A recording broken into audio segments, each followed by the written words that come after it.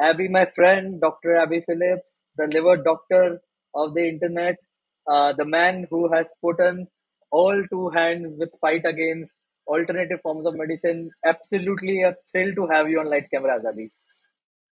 Thank you very much for having me. Looking forward to our uh, long session. I've just kept the whole day for this now, the morning part.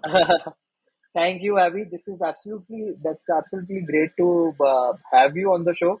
I've been following your work very closely. But when I say work, I mean tweets, uh, not your research papers, unfortunately, which I definitely intend to read anytime soon.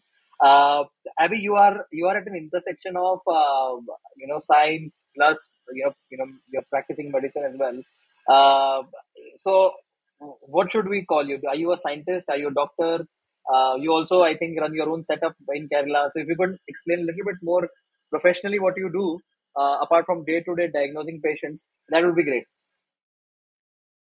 Yes, so um, I'm I'm I'm basically a clinician. I'm a physician. Um, I'm a, a specialist in managing uh, liver disease patients, so that is hepatology. And uh, at the core, I'm a I practice every day. I mean, I'm a I have an OPD and I have I take I take care of patients in the IP. So that's my primary uh, profession and my uh, passion. So I'm a clinician at heart. But apart from being just a clinician with a nine to five job, I do a little more for my patients. So that is when that is where the importance of clinical research also comes in. So I have a separate unit where I um, you know I look at a lot of um, patient data, analyze them retrospectively, run studies prospectively, and then uh, do clinical research on the sites. So the important aspect to note here is that there is a dying breed of uh, physicians that we have uh, currently. So, I mean, when you say a doctor, a doctor is somebody who sees patients every day, takes care of them in the OPD, and then sees them in the IPD. Uh, you know, uh, cares for them, prescribes medicines. That is that is what uh, a doctor comes across as.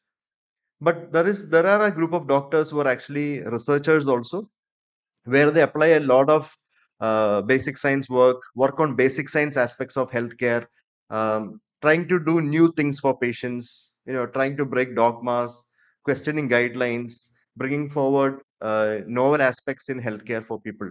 So they are called, they are known as physician scientists or clinical scientists.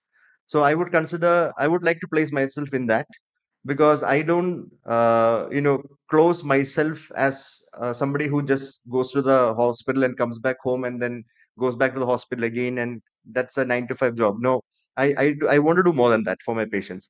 So that that is where I come across as a physician scientist. Uh, in India, we don't have a course to actually say that you know people can become physician scientists. A lot of them become uh, clinical scientists on their own because of their uh, interest or passion in it but in the US, there are courses where we can actually have uh, where they actually train people to doctors to become clinician scientists. So you have a, MD PhD course where you can do clinical work as well as get trained in aspects of uh, you know uh, clinical research also. But in India, uh, doctors themselves decide that they want to do that and become uh, clinical scientists. So that that is where I am. Um, I have coming to the question of uh, about my setup here in Kerala. So we have a, uh super specialty consultancy group, uh, which is started by my my father. He's a very senior gastroenterologist, and uh, he uh, has been practicing since more than four decades. And uh, he has built this uh, unit from scratch since last five six years. We've been, I mean, I, I was I am part of this unit where we offer specialized services to tertiary level hospitals with respect to gastroenterology, hepatology, and transplant medicine. So currently we are situated at uh, Rajagiri Hospital uh, at Kochi, and uh, we've been there since the last uh, two years. Wow. Uh, you have spoken a lot of times, Abby, about the impact your father had on your life uh, and the way your thinking is. And would love to know a little bit about that relationship and his impact on your life, and not just from a science standpoint, but also the impact that he had, you know, as a father, probably, you know, encouraging you to go very deep in your field, go beyond the traditional way uh, growth path of a doctor is and how does did your family support system probably help you become what you are today So I, I think a large part of what I do now, or I what I decided to do now, uh, I mean, wholly rests on what my dad has decided for me. You know, because his decisions mattered at the right time uh, during various, uh, you know, a fork in the roads where I was stuck at. You know, whe- whe- whe- whether it was you know uh, choosing a college for MBBS or joining a specialty in uh, MD course or super specializing. I mean, he was there all the time Yeah. and uh, the the best part was that I mean I I would say I, would say that the most important part part was that uh, we were always uh, scientifically thinking progressive family. You know, I we have, I've I've never had to uh, be exposed to any sort of uh, pseudo scientific or or traditional culture based practices in healthcare, except the fact that I was given a lot of Chyawanprash when I was a kid. That that apart we, that we apart, all happy. yeah, I mean, I, I think every kid in India gets that. So that Yeah. apart, I mean, there was, I mean, when it comes to decisions, it was all core uh, decisions based on proper uh, logic and rationale. So my family plays a lot of part in it. So my brother, he's he's a uh, he's the eldest. Uh, he's a computer engineer now. He's uh, into marketing and uh, he's a systems analyst and uh, he's based in the US. My elder sister, uh, she's an artist. She's a minimalistic artist and she runs her own um, you know art studio in the US. And my younger sister, she's actually a musician. So now she's completing her PhD in musicology, and she's based in Europe. So you can see how everybody is doing so many different things. I mean, it's not like uh, okay, you're a doctor, you're an engineer, you're a doctor, you're an engineer. So my my dad at that time thought of sending uh, you know me and my siblings to uh, places or into professions where we were comfortable in so initially, what I wanted to do was uh, media and theater because I love screenwriting.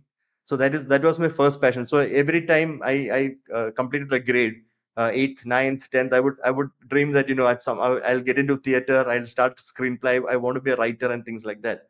But ultimately, when reality hit me, I think my dad and my mom they saw that you know uh, I had something in me that was driving me towards uh, medical field even though at that time uh, standard was medicine or engineering. My brother obviously did engineering, and then I was the guy left with uh, the doctor part because my dad is a doctor. Somebody has to take the baton.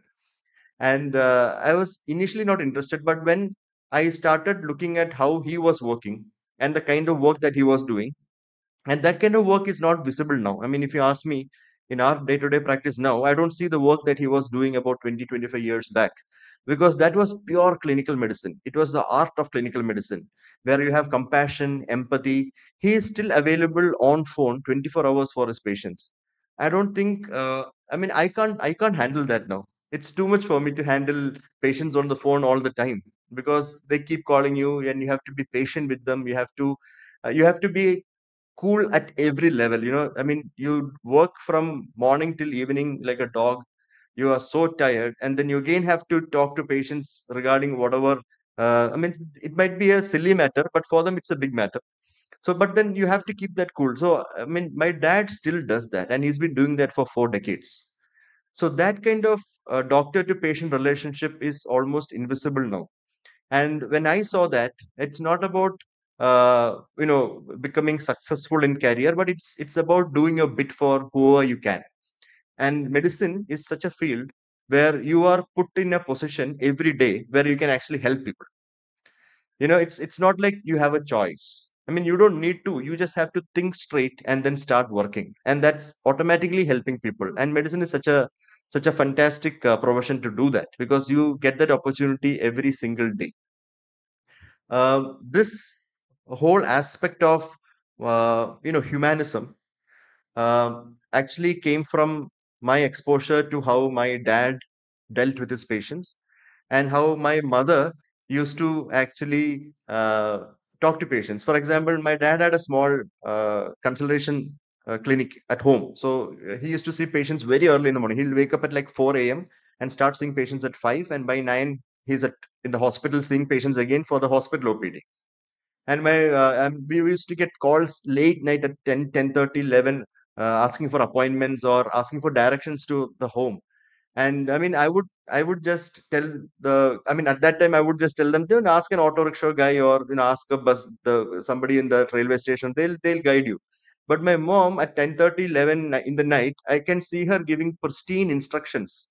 I mean, that would take about 10 to 15 minutes of clear cut instructions how to get home, what to do when you come here. And that, that would happen even at night at 11:30 you know so there was a lot of caring happening there and it was not like they consider this as uh, you know something that they need to do and finished off no it was not like that it was all about caring so the whole aspect of humanism which actually drives uh, you know our medical field or practice that is what uh, helped me choose this career and i think my parents and family played a very big role in it And very interesting thing you mentioned about your uh, mom and generally your dad also. And uh, I, as a society and specifically in your profession, Abby, where do you think uh, this compassion has lost now?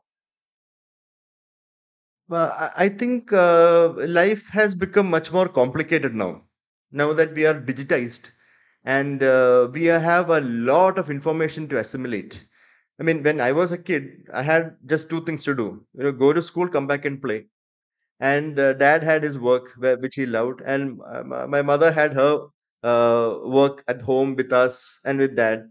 The life was so simple but now it's it's it's become cutthroat you know in in any field i mean you take it take medicine per se uh, uh, when when my dad started during his time he was the first gastroenterologist who used to do interventional endoscopies and everything i mean he was he has a lot of firsts to his name uh, ERCP, uh, glue injection for uh, bleeding varices for liver disease patients. All of that he's done first in India.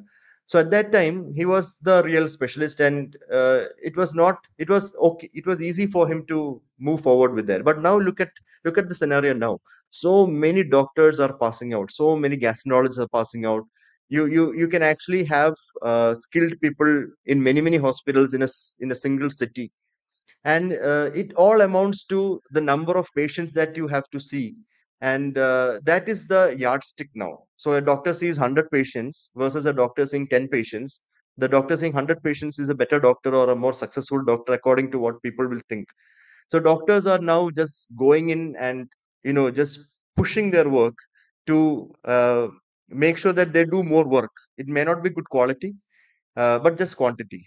So I think with that kind of an attitude, a lot of this compassion and actual medical care, clinical care has run out of uh, in in current practice. And with the rise of corporates, so any country that you look at, uh, the public health, I mean the the specialized healthcare is all uh, provided by the public health universities and hospitals. But look at India, all the major super specialized aspects of uh, advanced uh, medical care is provided by the private sector so if somebody wants to do a liver transplant in Kerala, they'll have to go do it in a private hospital. The government hospitals don't do it. The state government hospitals don't do it. They do it once in a while, but they have no consistent programs. They have no consistent uh, uh, teams that can do that for the people. So it all amounts to the private uh, corporates handling the large uh, quality of work or quantity of work, which which requires specialization.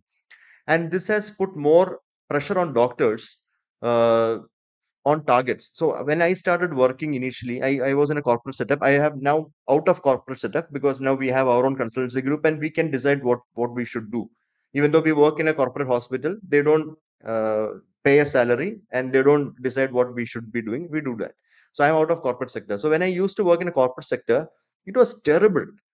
I mean, it was just about the number of patients outside your door and uh, the number of people that you can admit and do perform tests and perform uh, specialized uh, treatments or perform endoscopies and things like that. The more the number, the the better the doctor you are for that hospital you know so this this kind of an attitude where uh, you have to push yourself to show uh, the kind of work that you do through quantification instead of qualitative work is what has led to a very bad dip i mean very low dip in the compassionate care that we so much yearn to get from doctors these days.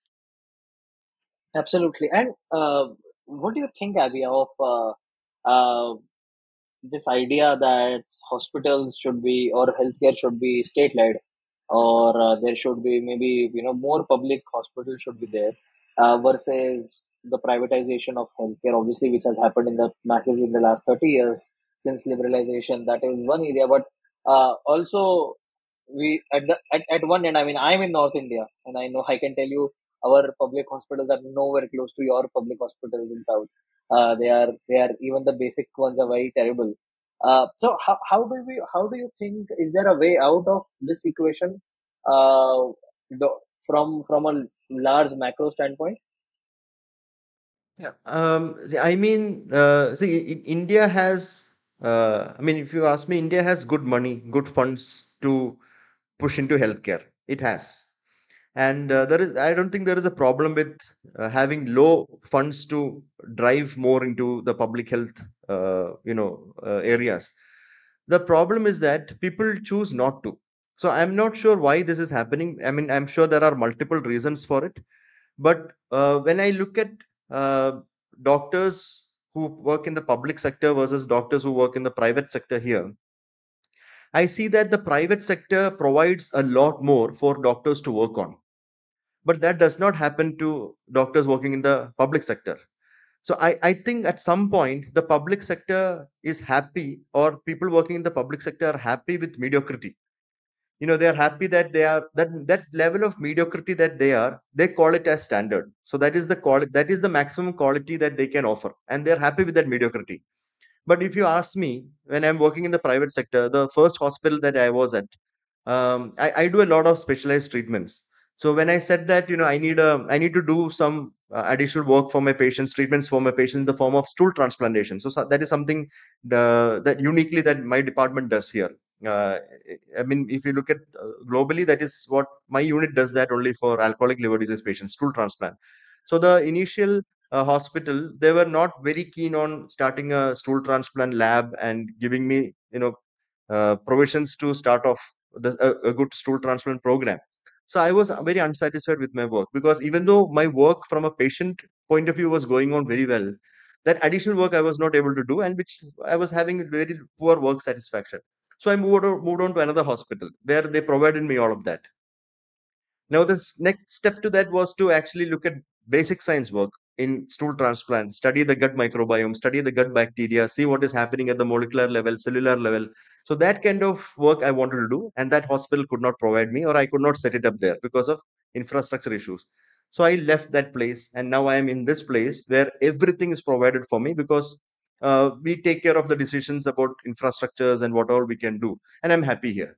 So that kind of a growth is not seen in public uh, health systems. For example, All India Institute of Medical Sciences, PGI Chandigarh, they should be doing the largest numbers of liver transplantation in this country, but that is not happening. Uh, private hospitals in Delhi uh, and Maharashtra and uh, uh, Punjab are doing very large numbers of liver transplantation. So I'm not sure why the public health uh, infrastructure cannot be upgraded to an extent that they can take over a lot of work from the private sector, and that actually reduces uh, resource burden on the patients. When if public sectors take up a lot of work, uh, which specialized work that the private sector is doing, patients are going to benefit. So I, I, I don't know uh, where to pinpoint the exact problem as. I mean, I think there is a lot of problems here from allocation issues to corruption to uh, you know people being comfortable in the mediocrity position that they are in. Uh, like for example, when the COVID struck for two years, no, no, I mean, I was I could not travel. No, nobody could travel anywhere, and I was happy sitting home. And finally when it all settled down and uh, people started calling me for talks and attending conferences and giving lectures out of kerala i was not at all ready to do that. I was happy at home. So I, I initially i said that i'm not going to come for this meeting i'm not going to come for that meeting. I was happy with that mediocre comfortable work that i was doing home. So i think this this problem with uh, apathy towards improvement in healthcare which first should be patient first. I mean, the whole aspect of public healthcare for the government should be citizen first.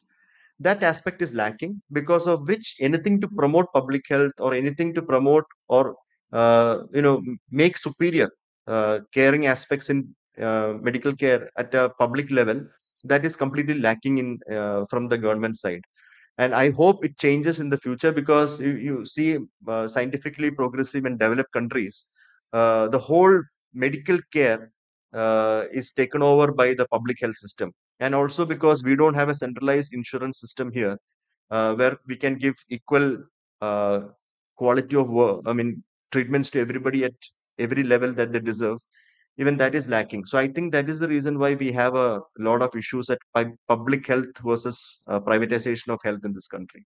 I mean, these are just my opinions, but I'm sure there is much more to it.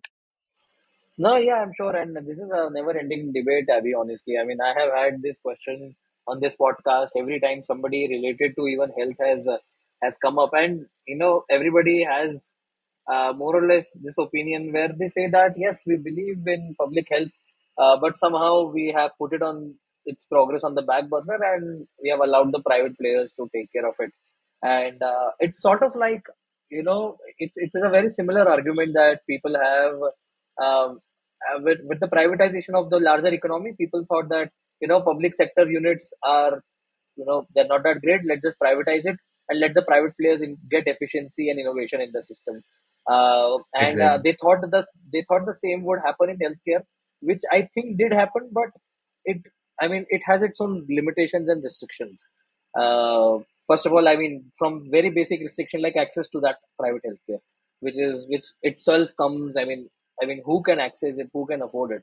I mean, uh, Yes. we we recently paid a bill of lakhs when my grandfather was admitted to the hospital, and uh, not sure if anybody can do that. Any other pe- people can do that as well. So I mean, I, I, yeah, I, I have had patients who have come to me for uh, advanced care, referred from other uh, peripheral hospitals, and um, ultimately most of them need liver transplant to survive. That is the only one. That is the only actual intervention that can increase survival in advanced liver failure patients.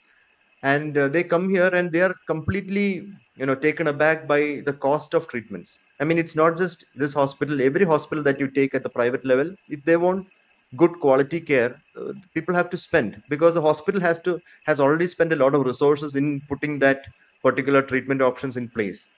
And uh, what i do is that i counsel them regarding the whole aspect of you know spending so much on healthcare especially if the healthcare part is i mean the, the intervention is very beneficial they need to spend because that that that's not it's not a waste of money. That that money is going to uh, be benefit, beneficial for them spending that money but a lot of them don't have that kind of money to spend. So ultimately what they do is they take the patient either back home because they can't even afford a ward room and the patient dies at home.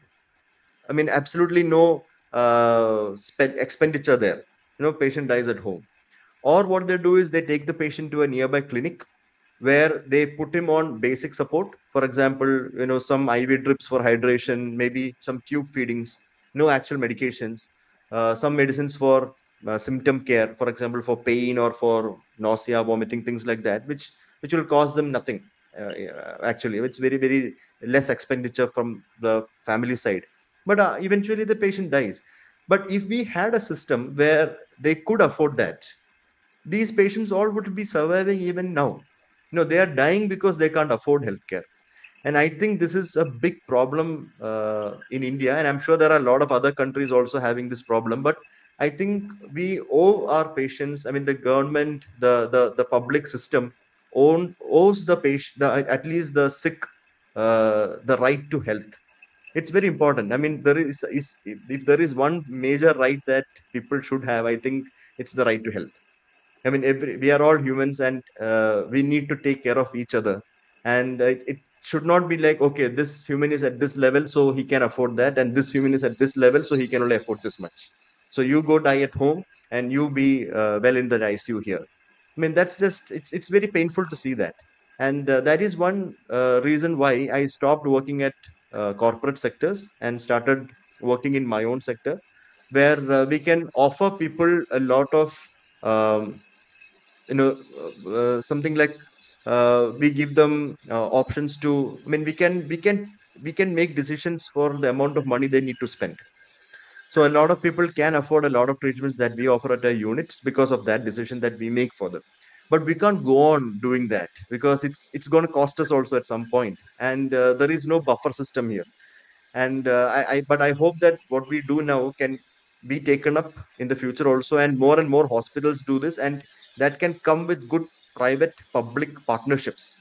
So the governments can actually help the private sector to improve on uh, the care that we give or affordability that patients can uh, do do with uh, you know that has to do with medical insurance etc i mean a lot of things to talk about on that point of view but ultimately this is what it is and uh, uh, I, I hope it becomes better once we go step into the future of healthcare in india Absolutely, and and while you were speaking, Abby, one thought came came across. Let's say my biggest concern. Let's say if I am asked for a liver transplant, uh, or somebody in my family has been asked for a liver transplant, uh, it was very difficult, at least in the private setup, to trust the diagnosis or the doctor who has recommended transplant because as a patient, I mean, I don't know, uh, you know, whether genuinely is the transplant required or is it just a money making scheme? And I'm sure these these are the kind of doubts that a lot of patients have as well. Uh, what what are your thoughts on that? This is very true because um, see patients themselves sometimes get the intuition that they need to take a second opinion.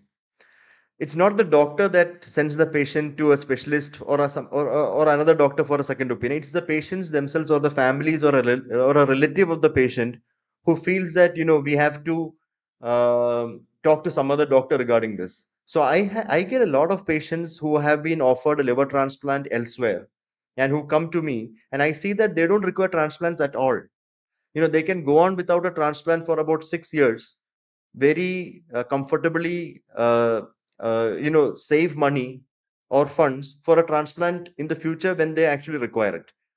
So now pushing them into a transplant they are they are running helter skelter for funds looking for donors and things like that. But they do not need to do that in the first place. So i i get a lot of patients where i have told them or i have taken them out of the transplant listing and uh, put them on good medical care and they are still doing so well. Uh, why do uh, doctors or uh, hospitals or institutions do that? Because uh, a lot of these hospitals and institutions they are over they have uh, over invested in in their infrastructures. So they need to break even. And this is the way they do that because ultimately healthcare has become a business now it's not not no more about the art of patient care. It's it's now become the business of healthcare. And uh, a lot of these private hospitals struggle to stay afloat and this is what they have to do. A lot of investigations a lot of prescriptions i mean forget surgeries even a simple thing as prescription is just financial burden to a lot of patients. What I do uh, on a daily basis is to de-prescribe. I mean, that is my 70% job every day from 9 to 5 is to de-prescribe. So a lot of patients who come to me or get referred to me for their um, illnesses and their treatment uh, reviews, uh, I see that some of them are on 20, 22 pills also in, in a day. And I, I, I look at them and I look at the reports and I see that they just require two, just two pills a day and they're on 23 so I cut out the 21 pills. So that that those 23 pills actually brings in money for the hospital and for the doctor because a lot of hospitals cannot afford doctors now as full-time employees.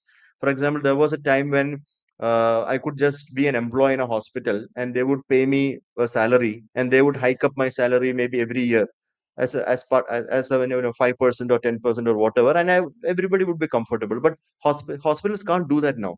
They can't afford uh, uh, doctors and they can't pay them a lot of money and keep them. So what they do is they tell the doctors that the more you generate, the more you'll generate for us, the more you'll generate for yourself. So what what they do is they do cutbacks, and this is happen. This happens. I think this is an open secret.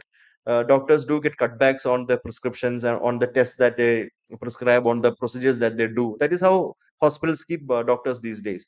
And the more they do that, the more they can earn. So that is why this culture of over investigation, over prescriptions, and unnecessary advices on surgical management, like exactly you said about uh, doing a transplant for somebody who does not require a transplant, uh, comes into picture. And i'm not sure what the solution is for this kind of uh, uh, behavior from the healthcare community but this deeply uh, you know it it uh, insults the core of actual uh, clinical practice and also deeply damages uh, uh, the the profession so I, I'm not saying that every doctor is doing it. So if there are 100 doctors, there might be five who does this stuff, and 95 will be practicing as per principles. They'll be doing and following things they have been taught and what they feel are feel is moral and ethical. But what what comes into the open and what we see in social media and uh, the information that floats around will be only on those five who are doing uh, unethical work, and that that becomes generalized to the whole doctor community. So even that we have to curb, and then it becomes uh, a pretty picture all over. Correct. No, uh, me and some of my colleagues have a solution around it. I would love to talk to you about it after this uh, session is over. Uh, Oh, great. Yeah. Okay. Yeah. Uh, anyway, so coming back uh, to the point, Abby, can you uh, throw some light on some latest research that you have been you have picked up and some findings that you are you know you're willing to share, uh, and then maybe we'll slowly dive deep into uh, the topic of the day. Okay, so um, recently we have had three really good papers out in the last three to four months. Uh, one paper was recently ac accepted about a, a, a week back. So I'll, I maybe I can talk about that first. So that that study is on um, alcohol use disorder. So the whole uh, term that we call alcoholic is now out of the window because it is very stigmatizing. So we call as Yeah. alcohol use disorder, person with alcohol use disorder. So uh, what we did was we looked at people who were binge drinking versus people who were drinking daily, and they developed liver disease in the form of a very severe condition known as alcoholic hepatitis. So that is now known as alcohol associated hepatitis, which is when so much of uh, large amounts of alcohol goes into the liver, it uh, causes sudden swelling of the liver cells and liver cell damage, re- resulting in jaundice and fluid accumulation in the in the abdomen and a lot of complications of cirrhosis uh, of liver disease, which can lead to liver failure and even death in the short term. So when we looked at people who were drinking, uh, you know, binge drinking, uh, which is like uh, more than four drinks in two hours time in a very short period, versus people who were drinking daily, you know, few uh, three to four drinks a day continuously, we found out that the bacteria in the gut, in the intestine of these two groups of patients were very different. So binge drinkers had a different kind of bacterial profile in the intestine, and daily drinkers had a very different kind of bacterial profile in the intestine. And some of the bacterial profiles, for example, specific bacteria, we have identified the species also. Some of these spe- specific species were associated with specific complications in them. So some of them will have very high jaundice because of a particular bacteria, because of the higher presence of a particular bacteria in their intestine, and some of them will have uh, a protective. For example, they become better because of some bacteria in their intestine. So we we did this, uh, and this is probably the first study to do that, where we identified specific bacterial groups uh, driving drinking patterns in in humans and uh, leading to specific clinical outcomes in these group of patients. So this gives us an opportunity to modulate these bacteria, you know, in the future to reduce different patterns of drinking uh, in people. So it's it's now the change the changing the whole bacterial population through either stool transplantation or using other bacterial population in the form of capsules or powders or whatever, you know, the probiotics and all that. Uh, that actually becomes, uh, uh, you know, maybe it could become part of de-addiction programs in the future. And de-addiction does not mean only psychiatric and antipsychotic drugs. Something like this can be part of it, which is safer and uh, maybe we can somebody finds out that it is more effective also. So that was one paper that we published uh, recently accepted.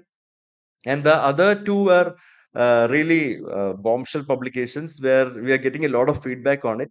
Uh, one was published in this journal called medicine uh, which is a peer reviewed high impact journal. I mean it, it's been there since century. It's a very old journal. We published on how the government's uh, choice of Ayush related integrative care in immune boosting in uh, people to prevent COVID actually did to people who had underlying liver disease. So there was this whole aspect of integrating Ayush practices in prevention and treatment of COVID. And uh, when that particular practice was taken up by a group of uh, liver disease patients, for example, they had underlying or pre-existing liver disease, what happened to them? So we published this data which showed that more than 40% of these patients developed i mean more than 65% of these patients developed severe liver injury because of those practices for example herbal liver toxicity heavy metal toxicity and other things uh, and about 40% of them who developed severe liver injury with an on an underlying pre-existing liver disease died without a transplant just because they chose to immune boost with Ayush. So those Ayush immune boosting practices directly leading to liver disease or liver injury and death was proven uh, in this particular study. So this study is uh, published just about a few months back, and uh, we have been getting a lot of patients who've been on these immune boosting practices, taking all these untested, uh, uh, invalidated uh, therapies, uh, and landing up in trouble. So the whole aspect, the whole point of a message of that study was that you know if that if that kind of a promotion was never there, these people would be alive even now the families would not have lost them. So that is the core message. So this was one. And the last paper was uh, the first paper in the world, which is also the largest series uh, on homeopathy related liver injury. So when if somebody hears this for the first time, they'll just say it's some kind of wild imagination because homeopathy can never injure anybody because it's no effect side no side effect kind of a kind of a profile that it has been enjoying all this way So suddenly this study comes and says, you know, homeopathy can injure you, it can harm your liver, and then you can die from it. So what's happening here? So that was a very confusing yet very interesting paper that we published in uh, this journal called Hepatology Communications, which is official journal of the American Association of Study of Liver Diseases. Very good journal, high impact journal. So what we showed was that uh, traditionally prepared classical homeopathic formulations. For example, if you follow the real homeopathic rules and principles and prepare uh, a particular remedy, uh, that would just be a very uh, dilute uh, formulation with either uh, you know uh, milk sugar that is lactose or it will be alcohol because some of them die or normal saline or uh, some of them even dilute in alcohol. But the, you will not have any active component in it. And that that is obviously not going to harm anybody. But the fact is that a lot of homeopaths themselves and a lot of uh, homeopathy companies they prepare these proprietary formulations, and homeopaths prepare or uh, prescribe a lot of um, uh, starting compound. No, it's not the ultra diluted formulations that they prescribe. They prescribe starting compounds known as mother tinctures for the patients to the patients because they know that the ultra diluted formulations will do nothing for those uh, patients because they are just like water or highly diluted forms of alcohol. So what they do is they actually prescribe the mother tincture formulations, which are the starting compound containing the active component, and that has actually harmed these patients. So a lot of patients who are on these mother compounds or mother tinctures home, from homeopathy uh, practitioners develop severe liver injury, leading to death uh, in a in a lot of people that we have uh, published on. Uh, second is a lot of formulations were adulterated and a lot of formulations were contaminated. So direct toxicity because of the active mother compound, uh, indirect toxicity because of contaminants and adulterants led to liver injury in people who are consuming homeopathy. So the whole myth of homeopathy, no effect, no side effect, uh, is now out of the window. Homeopathy can also harm you. So these were the three uh, major studies that we recently published on. oh, for these are so concerning, Abby. And for which one you got uh, the most flack?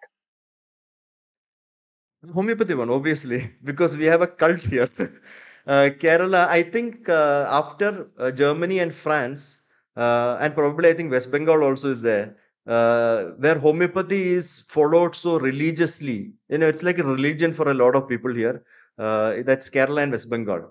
And after Germany and France, I mean, Germany is the obviously the starting point of homeopathy, and France is where Samuel Hahnemann died the the inventor of homeopathy and it has a lot of homeopathy for a lot of major companies i mean manufacturers from homeopathy are from france and uh, because we published this and uh, showed that even homeopathy can harm uh, the homeopathy practitioners did not keep quiet so uh, we've had a lot of flack on social media personally also a lot of threats and harassment and abuses which i ignore now because i, I know that doesn't make any any sense anymore uh, giving legal letters, complaint letters from authorities, and things like that. It's all happening because of this particular study. Uh, but then Yeah. we also have very good scientific critique, uh, critique from the homeopathy community on our study, where they actually sent letters to the editor of the journal, which I'm sure will be published very soon, because they criti- criticized our study and the journal asked us to give a rebuttal to those criticisms. And two such really nice uh, letters have been chosen, and we have given the rebuttal to those, and that will be very published very soon on the journal website. I think everybody should read it. It's very it's beautiful. I mean, uh, the the criticism from the homeopaths and how we gave the rebuttal. It's it's a good teaching in uh, science communication. And uh, these criticism, wa- wa- do you consider them to be, you know, logically sound, uh, scientifically thoughtful, or were they were they just attacks? Oh, from the homeopaths? Absolutely not. They were not at all logically sound. There's nothing science in it.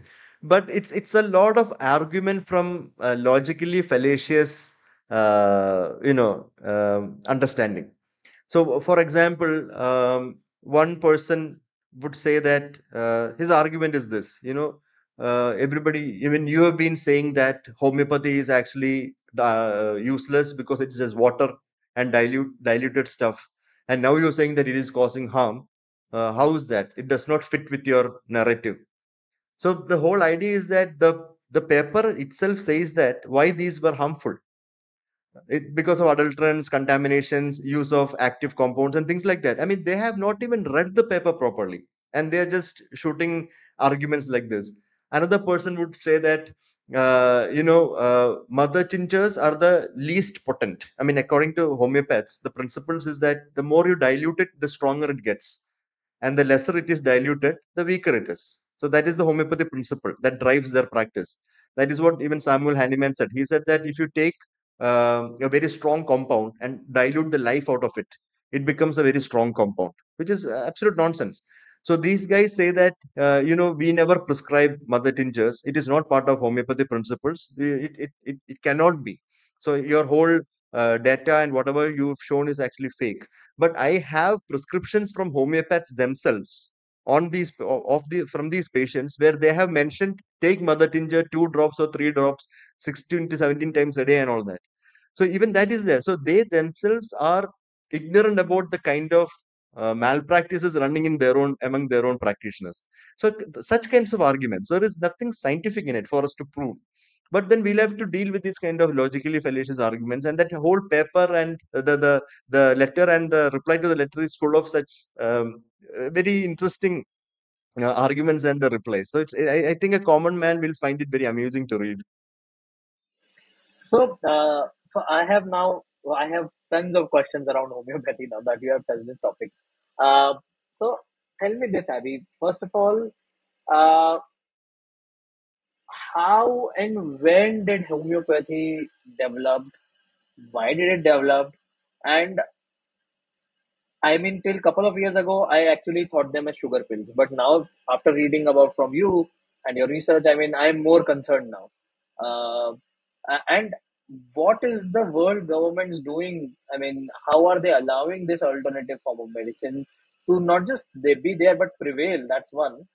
Second of all, uh, I mean, I, I, I could understand that, you know, the eastern part of the world has been known for alternative forms of medicine, whether whether it is Chinese herbs or uh, old Chinese medicines or India, Ayurveda, etc. But when I see Western world, which has sort of sort of always championed scientific temper, rationality, etc., etc., uh, and when I see when you, you use names like Germany and France, uh, I mean this is this is quite uh, shocking and surprising. Maybe this is my colonial mindset speaking. I don't know that, but you can tell me better. This is this is a big rabbit hole. Yeah i mean so uh, a lot to unpack here about homeopathy i think we can have a five or six hour podcast on it because it's that much of an yeah. interesting subject Uh, I mean, just to break it down uh, very simply, um, homeopathy was uh, invented at a time when we did not have a light bulb. So it is it's it's about 200 to 220 to 30 years old. So when we did not have a light bulb, it was a time when homeopathy was invented. So you can imagine at that time uh, we did not have much understanding about the human body, the physiology. Uh, we did not under, we have we never had an actual scientific method at that time so uh, a lot of doctors at the physicians during the time used to treat patients with crude methods. For example, they used to believe that if patients were made to vomit, uh, a lot of bad stuff from the body comes out and then they get better. So that is where you have these. I mean, Ayurveda has that Vamana therapy, where they induce vomiting to bring out all the bad stuff. So that is from that old allopathy practice. So that was what is origin allopathy. So when people use the term allopathy now for a modern medicine doctor, it's actually wrong because allopathy is nothing to do with modern medicine or modern medical science. It is an old uh, medieval practice that was done uh, in its very crude form uh, centuries before. So uh, this particular person, Samuel Hahnemann, who invented homeopathy, I mean, he did it for uh, the good of the patient because he saw that doctors are making people vomit, they were inducing diarrhea, uh, they were bloodletting, uh, thinking that uh, removing bad blood would, would improve somebody's disease conditions. Uh, they were doing something known as trepanning, where you put holes in the skull to bring out bad stuff out. You know, so much of crude things, and people, patients suffered from it. So what he did was he uh, modified the treatments into a very gentle form called as homeopathy and called the other form as allopathy. So allopathy is everything crude and crazy and uh, you know um, uh, torturous to the patient, but homeopathy was the gentle way of treating things. So instead of uh, using these crude substances like you know uh, at, at that time uh, heavy metals and synthetic materials and all that, what he did was he diluted them so much that he thought that the essence of that substance would remain even it was ultra diluted and that essence in the substance would cure the patient of their illness. So that is the whole aspect of vital force theory. So uh, somebody would say how does homeopathy work? Because it's so diluted there is nothing active in it and you're saying that it works but how can something without any active component in it work? So the whole aspect of vital force theory comes in, which is like an energy inside you, and the ultra diluted material when it goes in, it balances that energy and you get better. Which now sounds like complete horseshit because it is nonsense. There is, nothing like that. Uh, but that was one principle of homeopathy. The second principle was that like cures like. So if you have a substance that can induce fever in you, giving that substance can also reduce fever in ultra diluted forms. So that is another another principle of homeopathy which does not make any sense because if something causes fever in you, it, it cannot cause it cannot treat fever in you. It's as simple as that. You know, it's like saying that you know you had a snake bite and uh, there is a lot of venom in you. So let us take that snake venom and dilute it so that it ultimately becomes water and there is no venom left in it, and then give you, and then it gets and you get cured out of it. You know, it doesn't make any sense. And uh, the third uh, principle is uh, your ultra. The more the substance is diluted, the more strong it gets, the more potent it gets. So these are the three principles that Samuel Hahnemann made uh, against allopathy to bring in this gentle form of treatment. Now, whatever happened at that time, based on observations, because homeopathy is a pre-scientific era artifact you know it is not even science it's a pre-scientific era thought and observation based on this particular person's wrong interpretation of what was happening in the body and about a complete uh, negligence on chemistry and physics we, we know now know that uh, you know you don't dilute some stuff and think it's going to get more active that, that that doesn't happen at all in that case instead of uh, taking a single 500 milligrams of paracetamol we could actually dilute that paracetamol in two liters of water and take sips of that water and think fe- fever is going to go away. that doesn't work out that way. So the whole aspect of homeopathy, based on its principles, is this, and this is how it came up. And this started in Germany, and a lot of other every every other country took it up. Now the problem is that uh, homeopathy does not. Uh, it it still stands, right? I mean, we have a lot of people promoting homeopathy. A lot of people saying they got relief from homeopathy. Even governments are funding homeopathy so why, why does that happen? That is because uh, a lot of people who get relief from homeopathy gets relief from diseases that are mostly self-limiting, which means they did not require any treatment at some point. It would go away on its own without any intervention. For example, allergies, asthma, especially childhood asthma, uh, certain uh, seasonal infections or seasonal allergies. These are the things that homeopathy is usually taken for uh, and at some point it goes away on its own and people wrongly think that the homeopathy medicine has or the formulation has uh, gotten them better now this is something known as anecdotal evidence. So a lot of people have a lot of personal experiences with homeopathy and they they vouch for it because it's they, they felt it personally right? So that's the biggest experience for them. Now when such multiple experiences come up it becomes like a cultish feeling because you'll see that okay this person i have i i had a- i have a child who has bronchial asthma who's not getting better because of seasonal exacerbations of the asthma and then this guy says even his kid had this asthma but then after taking 5 years of homeopathy it went away so what i'll do is my kid is already now uh, what i mean just give an example my kid is already now 7 years of age and he's uh, having asthma so i i try homeopathy along with it so I'm giving him inhalers and things like that on the side, but I'm adding homeopathy also in it. And now, as per the natural natural history of the disease, that bronchial asthma, that childhood asthma will go away by by 12 years of age. So I give him homeopathy, and by the time uh, he is 12 years of age, it goes away. So he'll think that until seven years, I have been putting this child on. I mean, I'll think that I have been putting this child on uh, modern medicines until seven years, and nothing was happening. But now I added homeopathy to it, and the next five years, the uh, asthma is gone so this is wrong interpretation of what was happening because asthma would have been gone even at five, even after that five years, even without adding the homeopathy medicine. So this kind of wrong interpretation of personal experiences or generalizing personal experiences to an effective intervention is what keeps homeopathy floating even now which is why you will see that there is no good scientific evidence to support homeopathy from any published data world over. All scientific studies have shunned homeopathy, and there is no absolute no, no uh, reason for anybody to consume homeopathy as per scientific evidence. But people still do it, and homeopathy practitioners still promote it based only on anecdotal evidence or personal experiences from their patients. And this is, this is why, why homeopathy stays longer and still keeps surviving now, when you look at, uh, I mean, I'm not even going to go talk about what India is doing for homeopathy because a lot of taxpayers' money has been wasted studying it and uh, teaching people about homeopathy in India. But when you look at other countries, for example, the place where homeopathy was born, Germany, uh, it has defunded homeopathy from its public system. So if you want to uh, take homeopathy treatment from uh, a practitioner, you'll have to pay from your own pocket. The government will not support you. The government will not give you insurance or public money for that no more public funding is done for homeopathy in uh, France also. It is not banned anywhere, but it has been taken out of the mainstream equation. And uh, the same thing is happening in the UK, where the uh, National Health Service, the NHS, has completely defunded homeopathy. And in the US, it is now an alternative medicine practice where people, if they want to come go, go for it, can go for it, but they'll have to pay from their own pockets because it does not get insurance. And on top of that, the Center for Inquiry, which is a very think tank rational society in the US, they have actually uh, taken uh, the homeopathy pharmacies to court. So there is there is a huge Supreme Court case running there where they have taken these pharmacies um, uh, saying that they were defrauding patients by selling uh, watery substances as treatment options.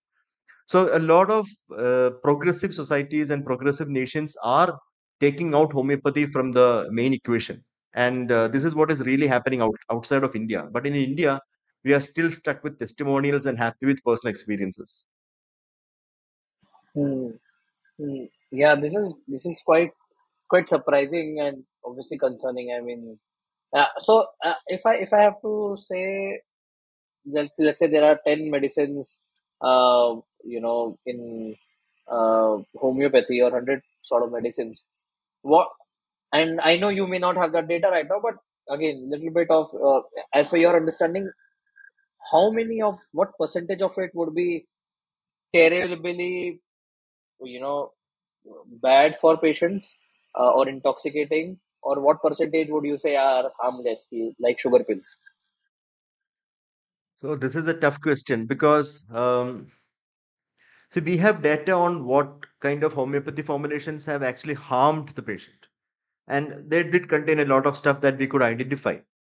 Uh, but but ideally, if that particular homeopath is, no, I mean, I, I I should not be using this term, but then for the lack of word, an ethical homeopath, uh, he would be using actual homeopathy formulations, properly prepared preparations of homeopathy, which are ultra diluted substances. And if I check, I mean, for example, we have a uh, an ongoing project where we uh, known as a placebo project, where we Yeah. are looking at uh, toxicology analysis of commonly prescribed homeopathy formulations by uh, homeopathy practitioners and commonly uh, prescribed proprietary homeopathy formulations which are sold over the counter For example, uh, take the example of arsenicum album 30C, which was actually one of the classical homeopathy formulations, which was promoted by government for, as a preventive for COVID.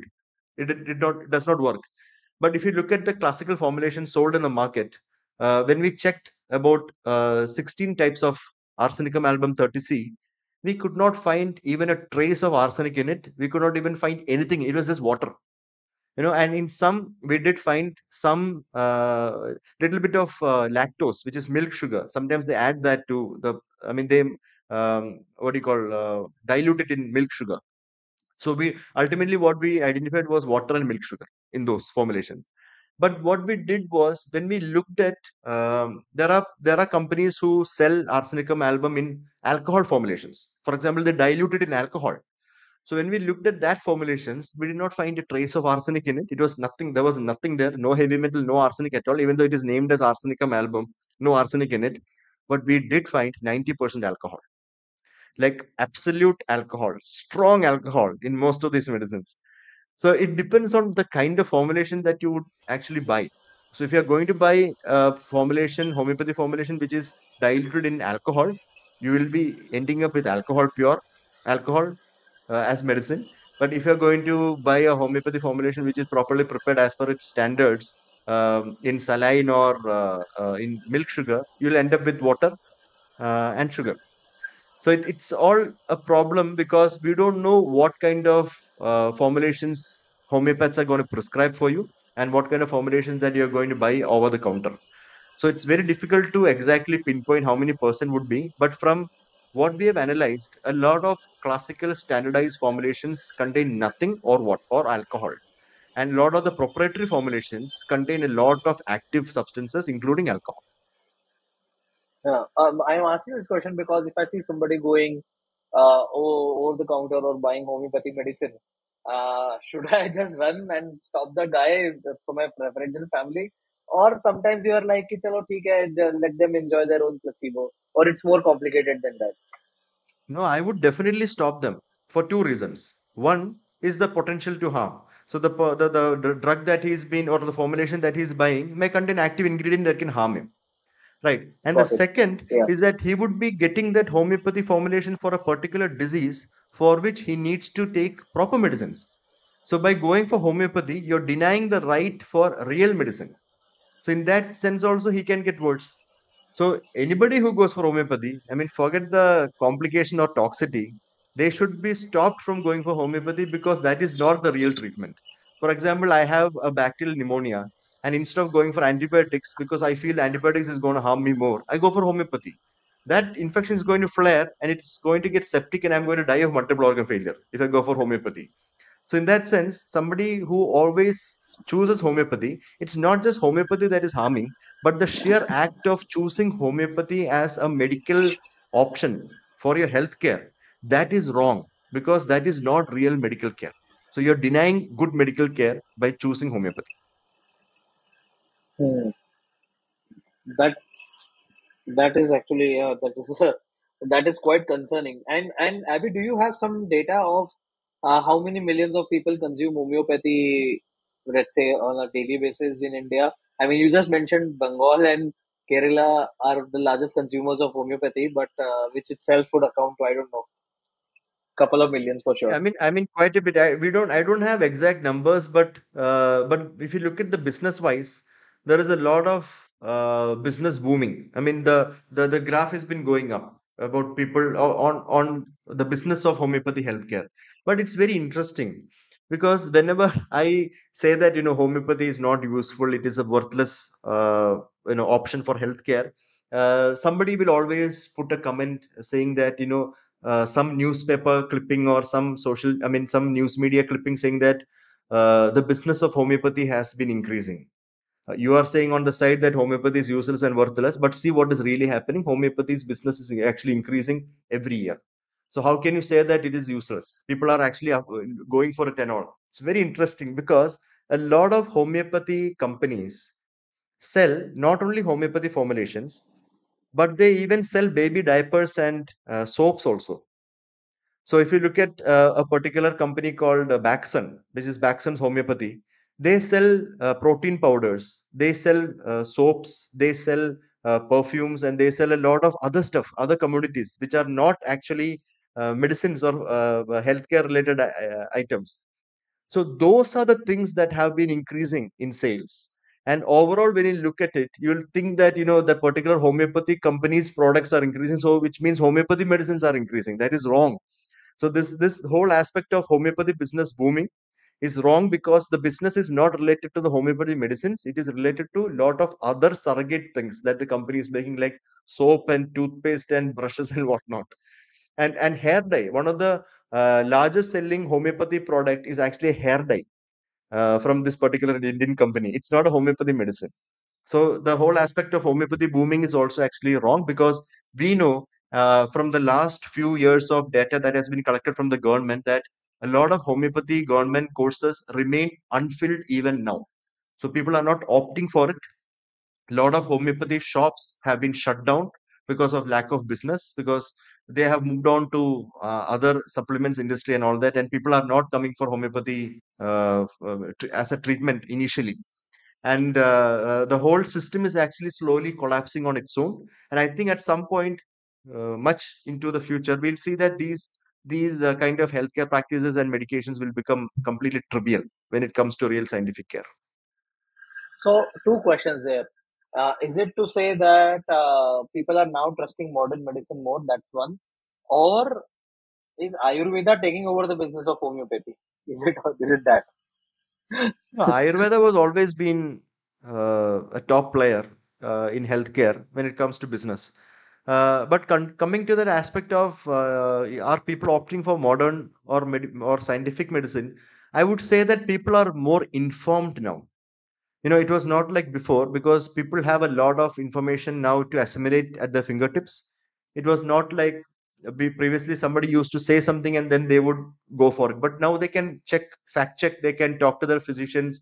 There is a lot of data available on the net and whoever can logically uh, traverse that particular information database on the internet they can have a fairly good idea about what healthcare practice is going to help them so the whole uh, aspect of uh, right to healthcare and the right to uh, effective healthcare that informed aspect in the minds of people have improved which is why a lot of people now opt for uh, scientific medicine or at least ask their own doctors about other options that they would like to go for and the doctors will give them the right uh, answers to it.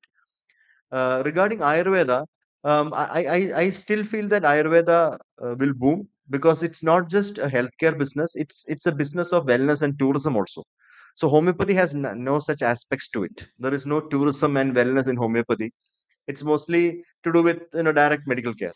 But Ayurveda has different uh, lot of uh, things going around. It's not just uh, a a treatment therapeutic part, but there is a lot of industries uh, from the tourism. Look at Kerala A lot of the uh, business in Kerala, it's not because of uh, Ayurveda doctors doing well with their prescriptions. It's because of the wellness industry, which is playing a huge part in the uh, tourism department. So that way, I think Ayurveda definitely goes way and above homeopathy. Uh, but when it comes to uh, real patient care, I think both of them are almost the same. But I think Ayurveda will harm more because people use a lot of active ingredients in Ayurveda compared to homeopathy. Yeah, absolutely. A lot to unpack there. And also on the previous point of their business flourishing or not, I I am I'm yet to come across a parent who would say that I want my kid to grow up and become a homeopathy doctor. Uh, No, no, nobody would say that. No, I don't even I don't even think kids would actually uh, want that because I had a person, and I, uh, I mean I know the person because uh, he messaged me on uh, uh, privately on Twitter, and uh, he said that you know I'm uh, I did not get through my MBBS two times, uh, and uh, ultimately my parents said that you know you're not going to waste another year, just go into something that you get, and he chose homeopathy. So now he is in first year of homeopathy. And he is very unsatisfied, especially after seeing the stuff that I bring out on Twitter. And he wants to get out. So he was asking me, uh, what do I, what do I do about it? So a lot of kids are trapped in it. It is not anybody's uh, conscious choice to become a homeopath unless and until they have a homeopath business to run and they have to maintain that legacy. then they might become a homeopath to run the business, not because they really want to treat people. Yeah, that you, you're right. And I, I mean, I generally think a lot from this aspect. Okay, how can we, uh, let's say, if you and I were in positions of influence and power, how would we tackle homeopathy?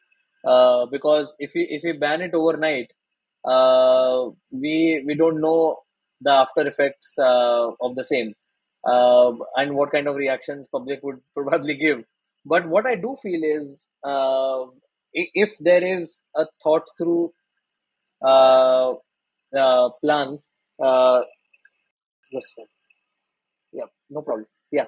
So, so for example, let's say you and I are in position of influence, and rather than banning entire homeopathy in one go, if if the government would start banning certain medicines which have active ingredients, uh, then would that be more easy approach? What do you think? I mean, or or do you think outright Uh, banning is blanket banning is the way forward? no, I, I don't think an outright ban would do any help because see, because a lot of people's livelihoods are based on this, right? I mean, where would the homeopaths who are uh, doing practice now go? What, what would the students who just passed out of homeopathy do? Suddenly, if the government says homeopathy is complete nonsense and let us stop it.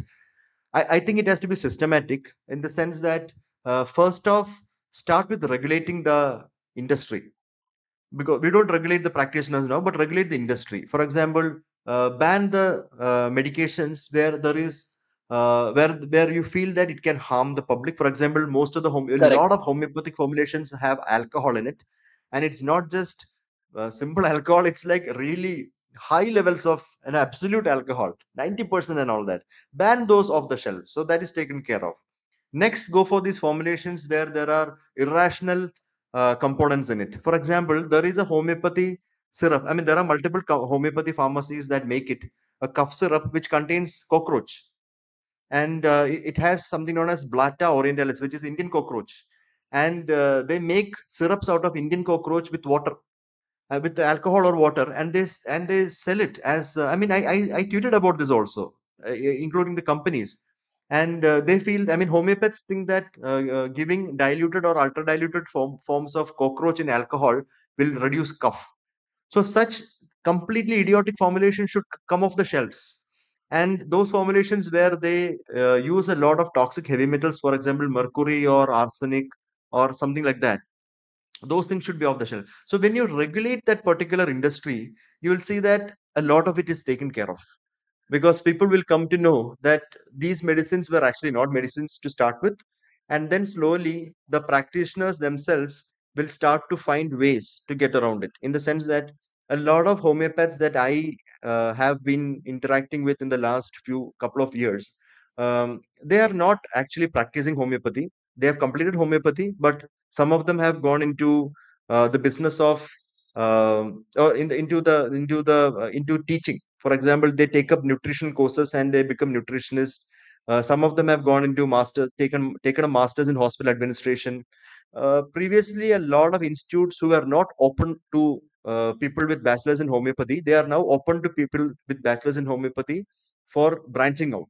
For example we have public health diplomas we have masters in hospital administration we have medical transcription we have nutritional courses and these people are branching out. So they are basically doing things uh, that matter which can impact the community much better than actually practicing homeopathy. So once this happens i think the whole system will correct on its own so we don't have to ban anything. And ultimately when there are no takers for homeopathy at some point the whole system will slowly shut down. And i think this is a natural process. Nothing imposed.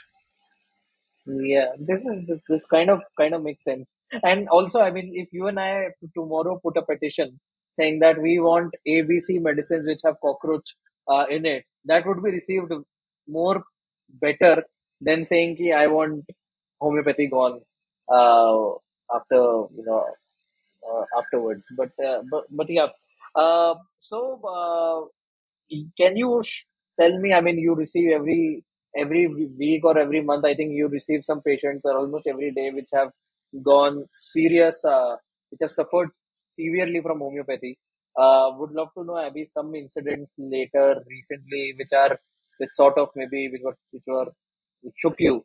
or or which you think should we should use this platform to raise some awareness around it So um, I, I think uh, one of the most important uh, cases that I have seen, patients that I have seen when it comes to homeopathy, um, was this particular young man. So he was he's a he was a police officer, about 30 31 years of age, and uh, he had some you know uh, asymptom no symptoms asymptomatic benign uh, mild swelling of the legs for which he went for a uh, evaluation health checkup because the uh, the his senior police officers told him to just check it out.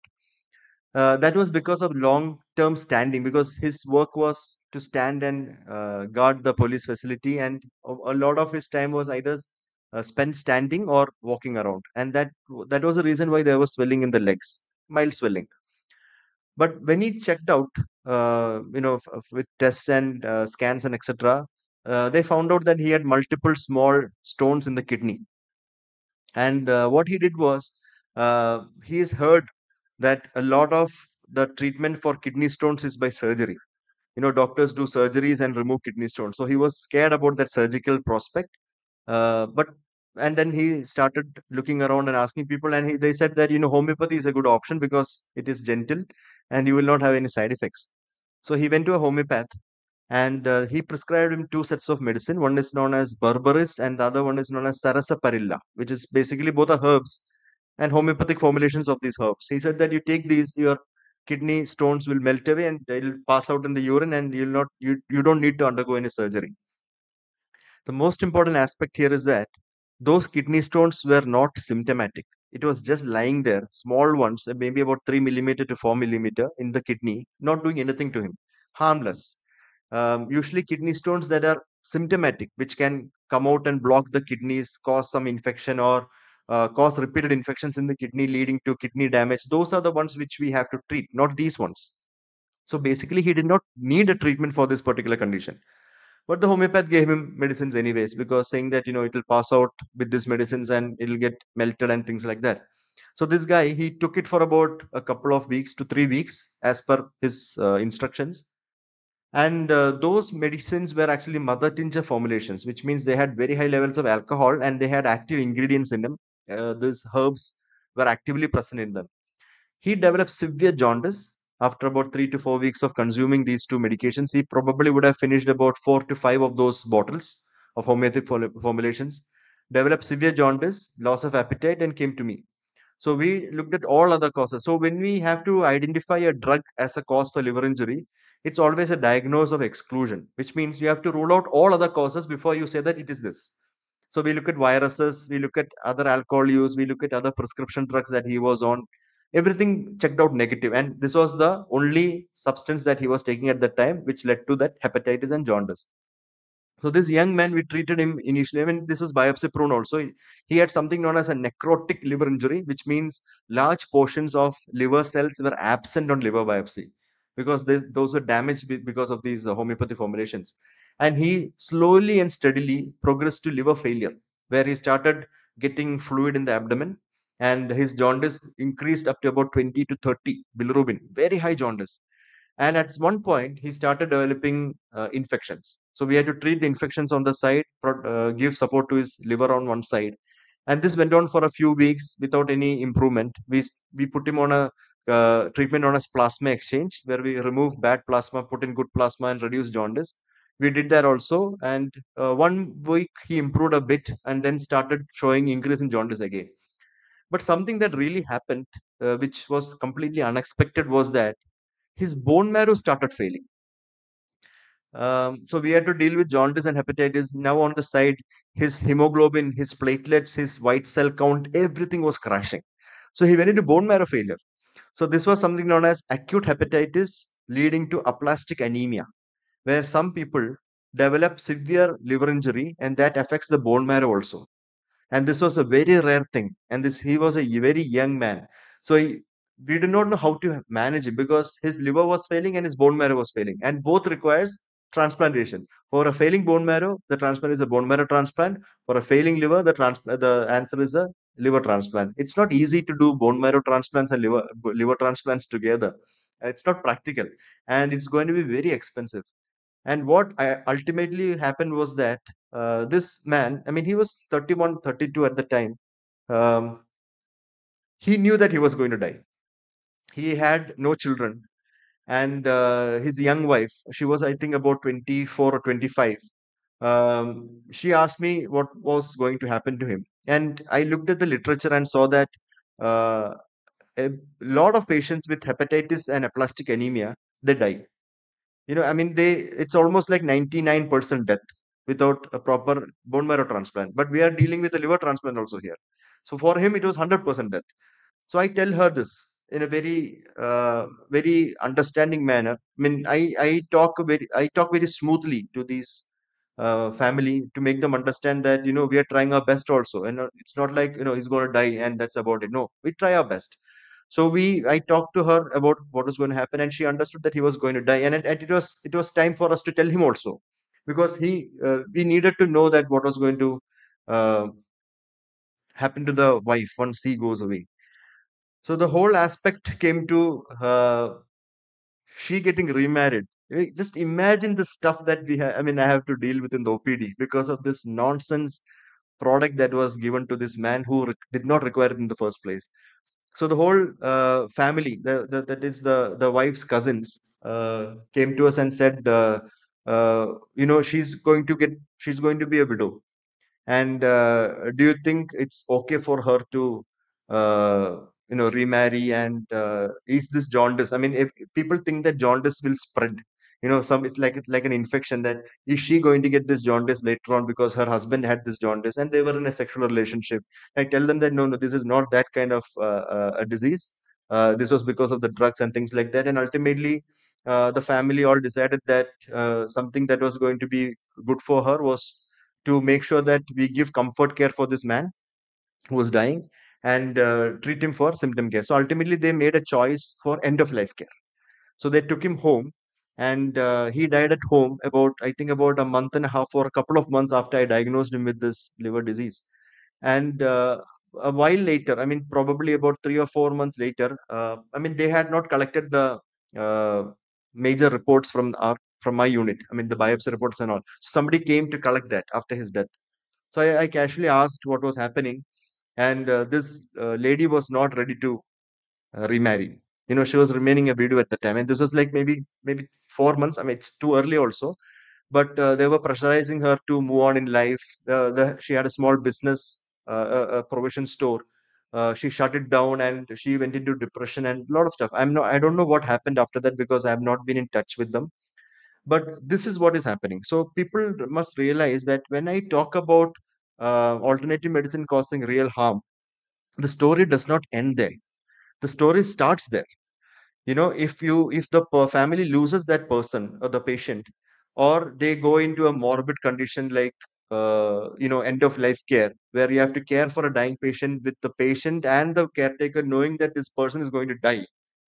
Uh, i mean you have to imagine what that does to the family. So when when uh, when I say that don't take this herb or don't take this homeopathy formulation because it has been proven to be uh, toxic, uh, people uh, can't think beyond that. They they think that I am out to um, criticize homeopathy or defame Ayurveda or defame India and defame our culture and our great tradition. It's absolute nonsense. That is what not I'm trying to do. I'm trying to tell you that there is a story that starts beyond that, and people should understand. This is the this is the reason why I wanted to speak about this uh, patient. Obviously, I've not given up uh, given more data on it. I mean, this is anonymous, and uh, the whole the whole family just crumbled after that because somebody decided to treat uh, this young man for a condition which did not require any treatment in the first place.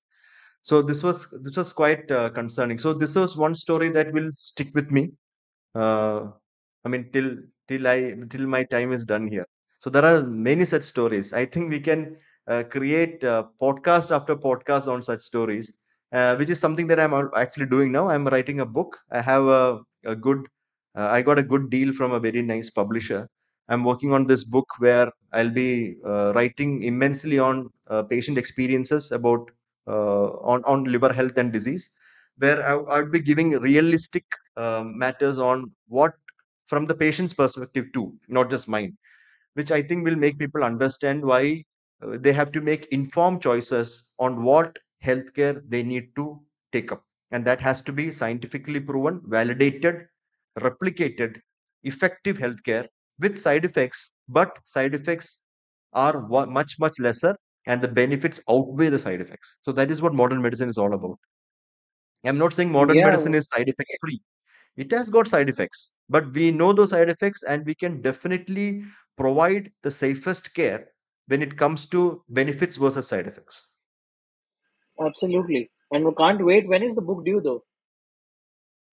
Probably next year because I have uh, extended my uh, submission dates to end of this year because I was supposed to finish it next to next month. In a couple of months, I am not able to do that because I underestimated my clinical practice a bit. I thought I could write in the night every day, which I'm not able to. It's very exhausting. So hopefully I'll finish by the end of this year, writing it and submitting it. Yeah, yeah, so I'm just I'm just I'm just booking you in advance already.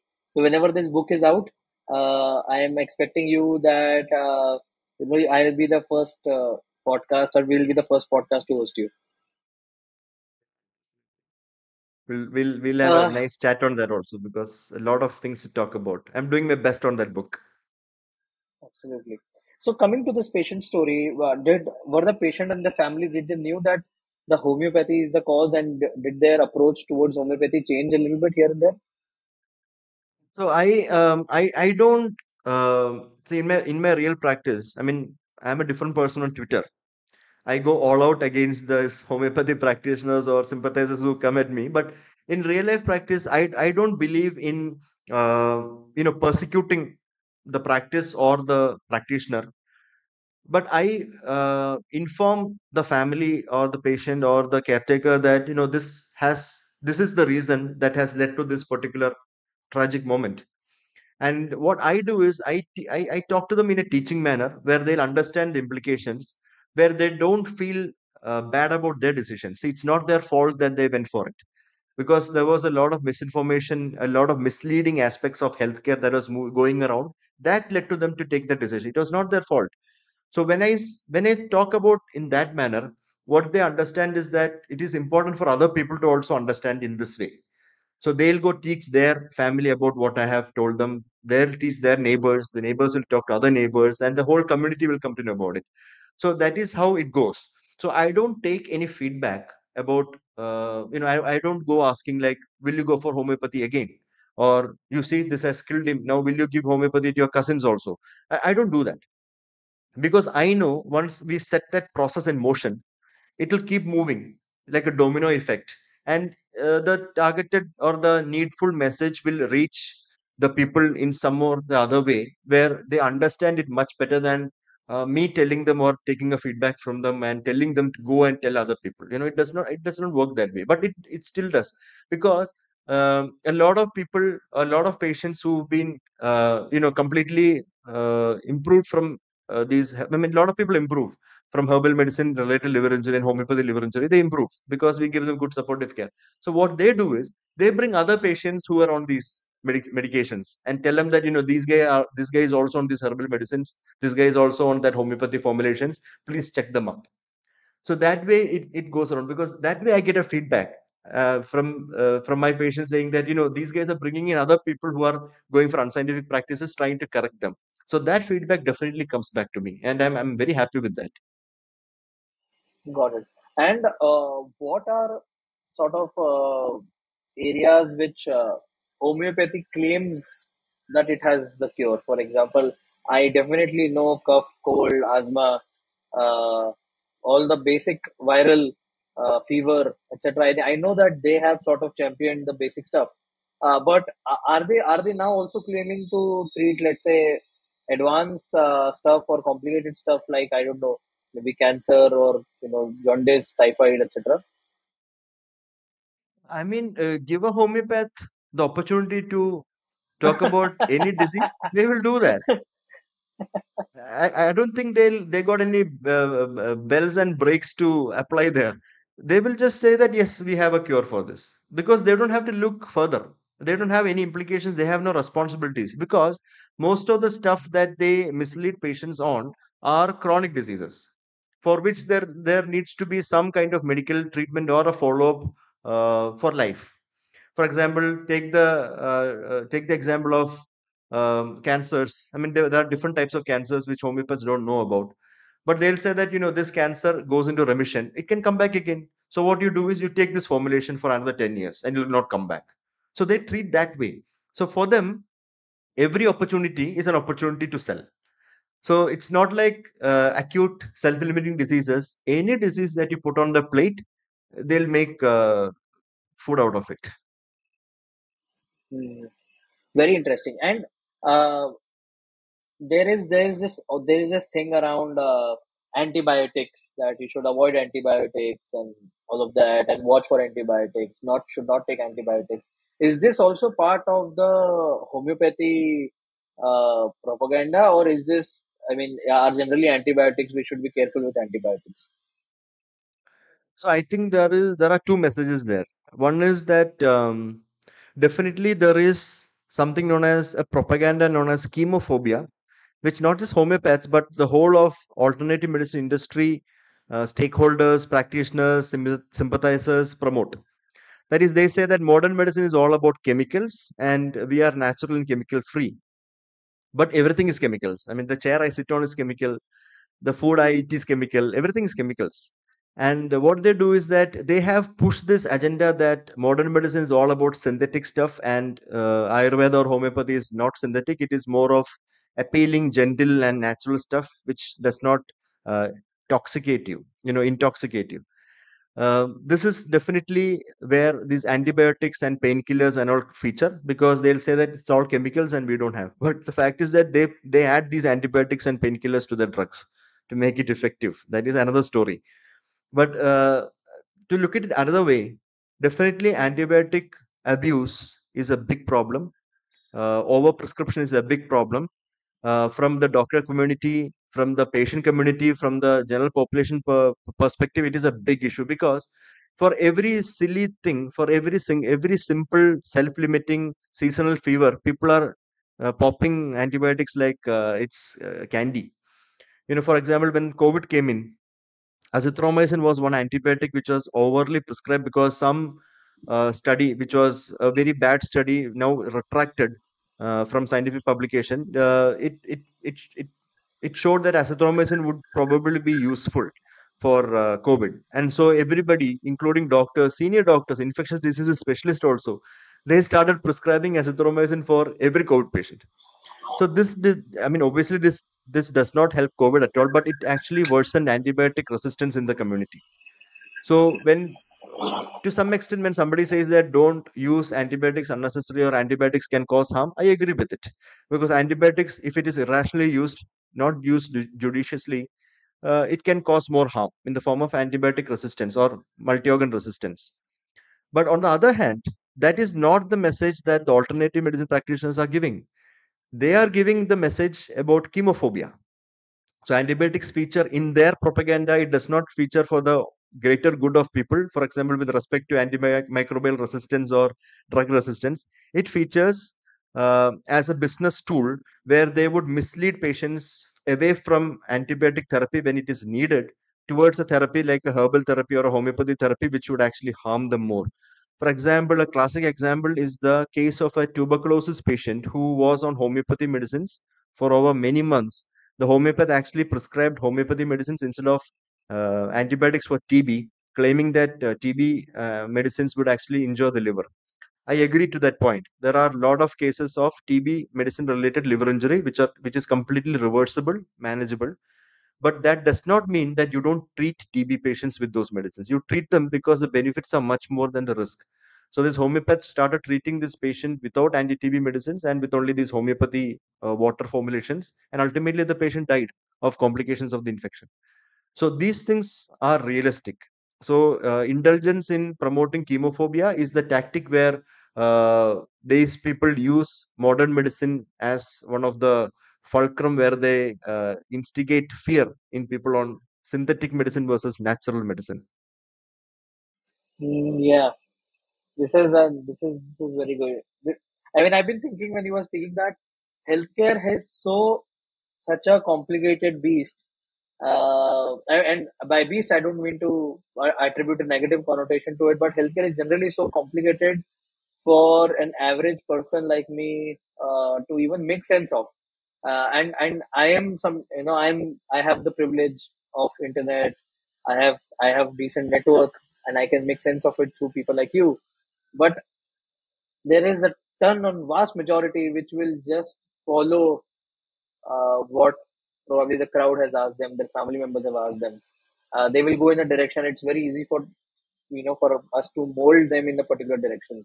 And I am I'm generally genuinely very concerned. I mean, uh, I mean, and there are there are areas. I mean, we are now talking about forms of medicine, but uh, even in in the modern medicine ecosystem, like we talked about, people are made fool of and uh, it just everything is so damn concerning abby to be honest I mean, it's very, I mean, when you said that healthcare is a very complicated or complex beast, I agree with you. You know why? Because, um, see, for example, I, I put up a tweet saying that uh, milk thistle is not good for the liver. I mean, it is true. I mean, I, I'll be doing a video on this soon because a lot of people are misled on this. And you have a lot of products in the market where milk thistle or silymarin is added as a detox and liver protector and whatnot and uh, it doesn't work. I mean, there are a lot of studies, including high quality meta-analysis, that shows that milk thistle use does not do anything for any liver disease. It's it's complete uh, it's a complete waste of money. So I put that.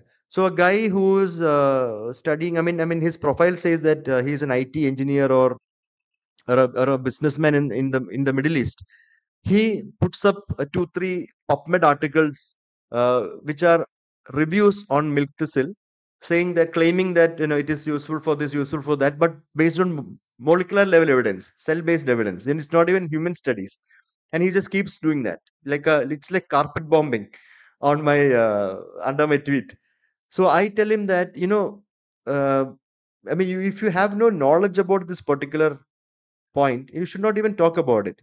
And this happens only in healthcare. So if a plumber or a carpenter tells me that or tells a person that you know this this piping should go like that way and go this way or uh, the measurements of this particular table should be this way the length should be this way so that it it's remains steady we just listen to that I don't I we don't say that the, to the plumber guy, no, no, no, it's you go that side, let's go this side. No, that is that is his uh, domain expertise, and he says that you have, you accept it. But when it comes to healthcare, people have so many opinions on their own, even when they know nothing about it. And I, I think this is why healthcare has become a complex beast because people think that it is a place where they can opinion I mean they can provide opinions on from their own uh, ill-informed uh, you know uh, you know position and this is why it is getting more and more complicated to deal with healthcare so when I, I don't talk about obstetrics and gynecology, I don't talk about urology, I don't talk about cardiothoracic surgery. I mean, I do talk about general medicine per se, but I mostly speak on liver, on hepatology and its aspects because that is what I am trained in. And no other doctor would actually talk about hepatology or anything. I mean, proper doctor trained in urology or or or maybe uh, neurology, they would not talk about hepatology aspects per se on a daily basis. But when you look at the uh, the the people on Twitter um, or on social media, common folk, they have no qualms about just speaking their minds on anything that comes to comes to their mind on healthcare. This is why it is becoming complex because people have a lot of confirmation biases and they have a lot of prejudices regarding their own healthcare that they are not ready to accept it from an expert. They they don't they don't consider doctors as actual experts anymore they think doctors are there to make business. They are here to push pills and uh, prescribe pills onto you and get money out of it and things like that. I don't understand that psychology of it. But if you look at any other expertise area like like i said a carpenter or a plumber or or a mechanic i don't think people give their opinions on what they should be doing. You know what they tell them that becomes the final word. But healthcare it's so much more complicated. I, i'll tell you a very recent incident uh, regarding my grandfather. Uh, uh, when when we were in the hospital uh, so like i mentioned right like his, lungs were not functioning it has a lot of infection in it uh, and uh, he was eventually on oxygen support and and uh, he was first. I think he was on BiPAP, and then he was on CPAP, and the only other option was on ventilator.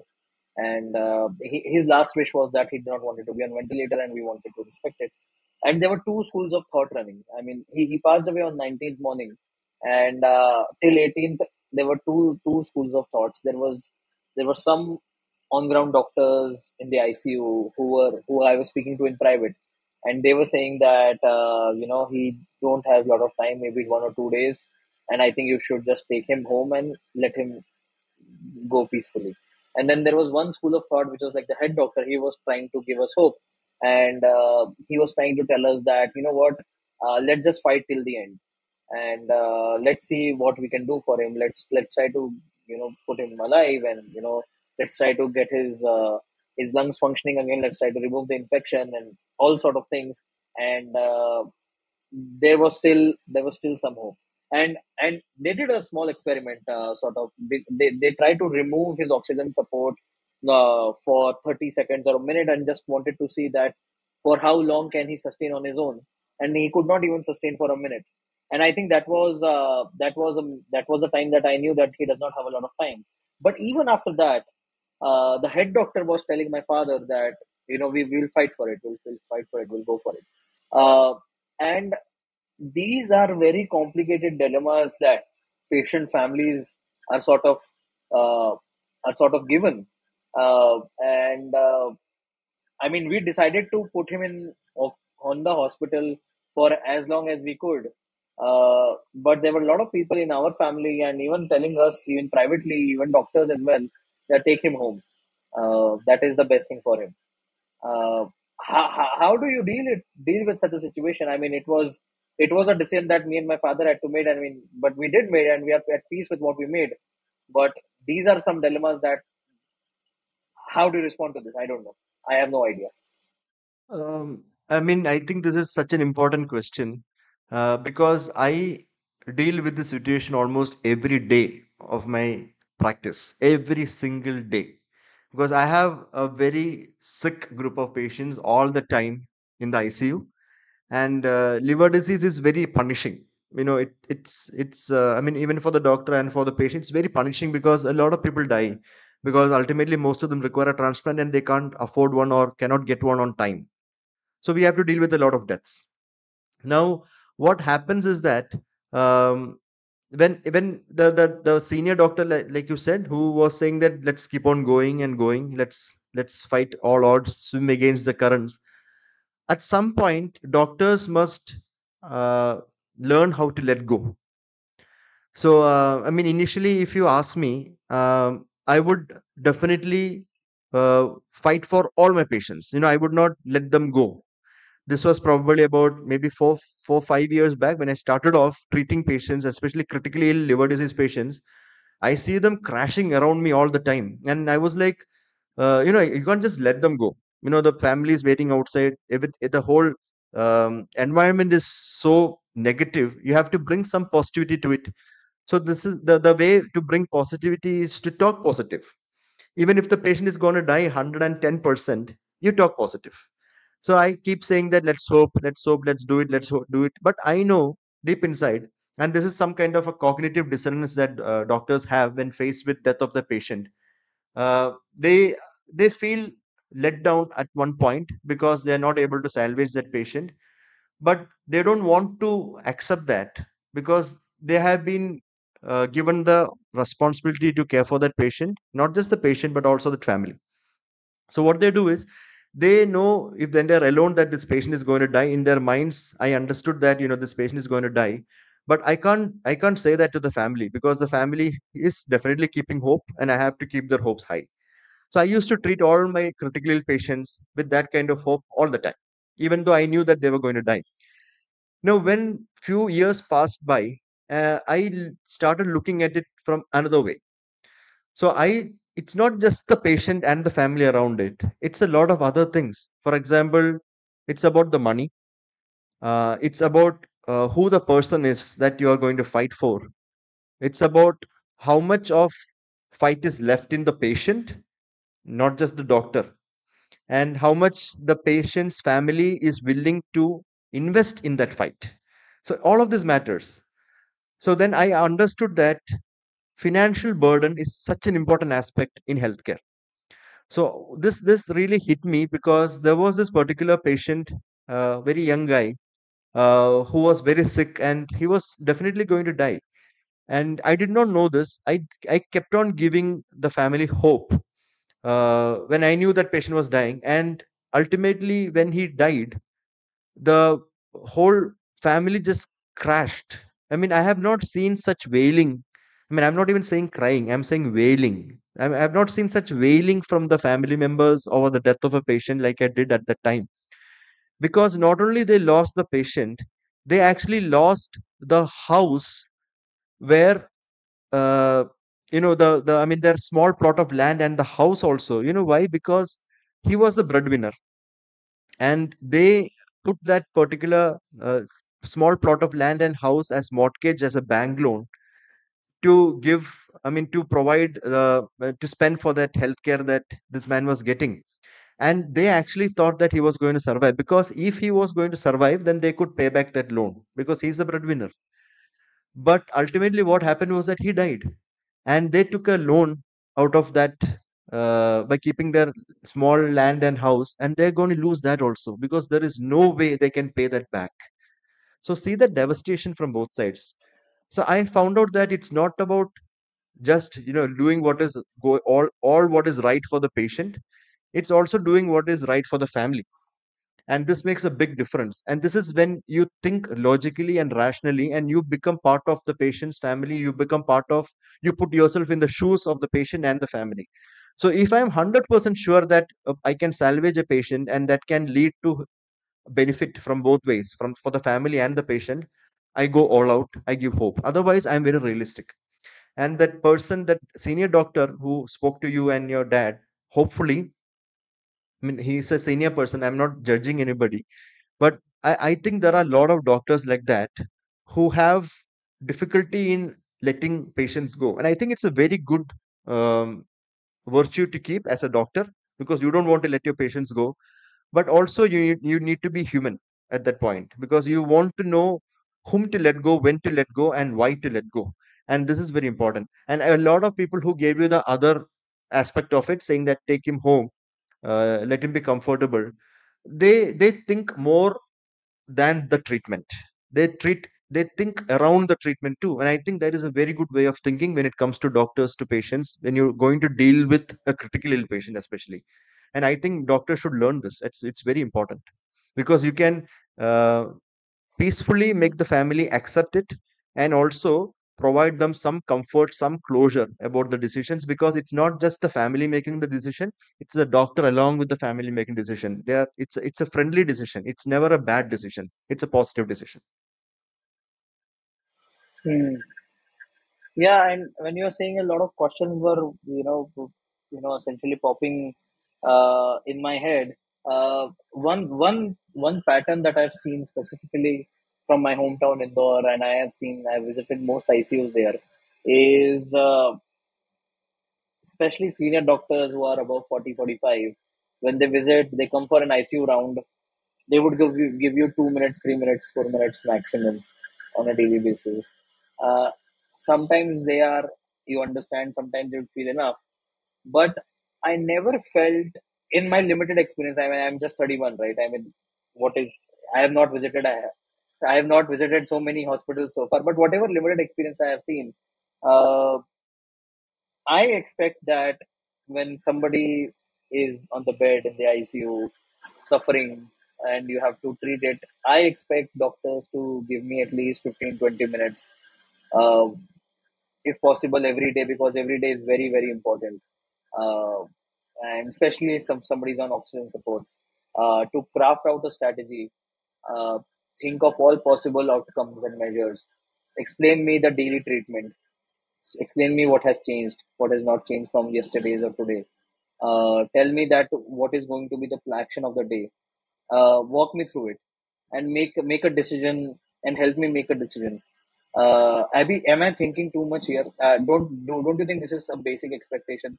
And it, this sometimes doesn't happen. Like like doctor will come up like this. Say he'll, he'll he'll look into the prescription. He'll look into the vitals.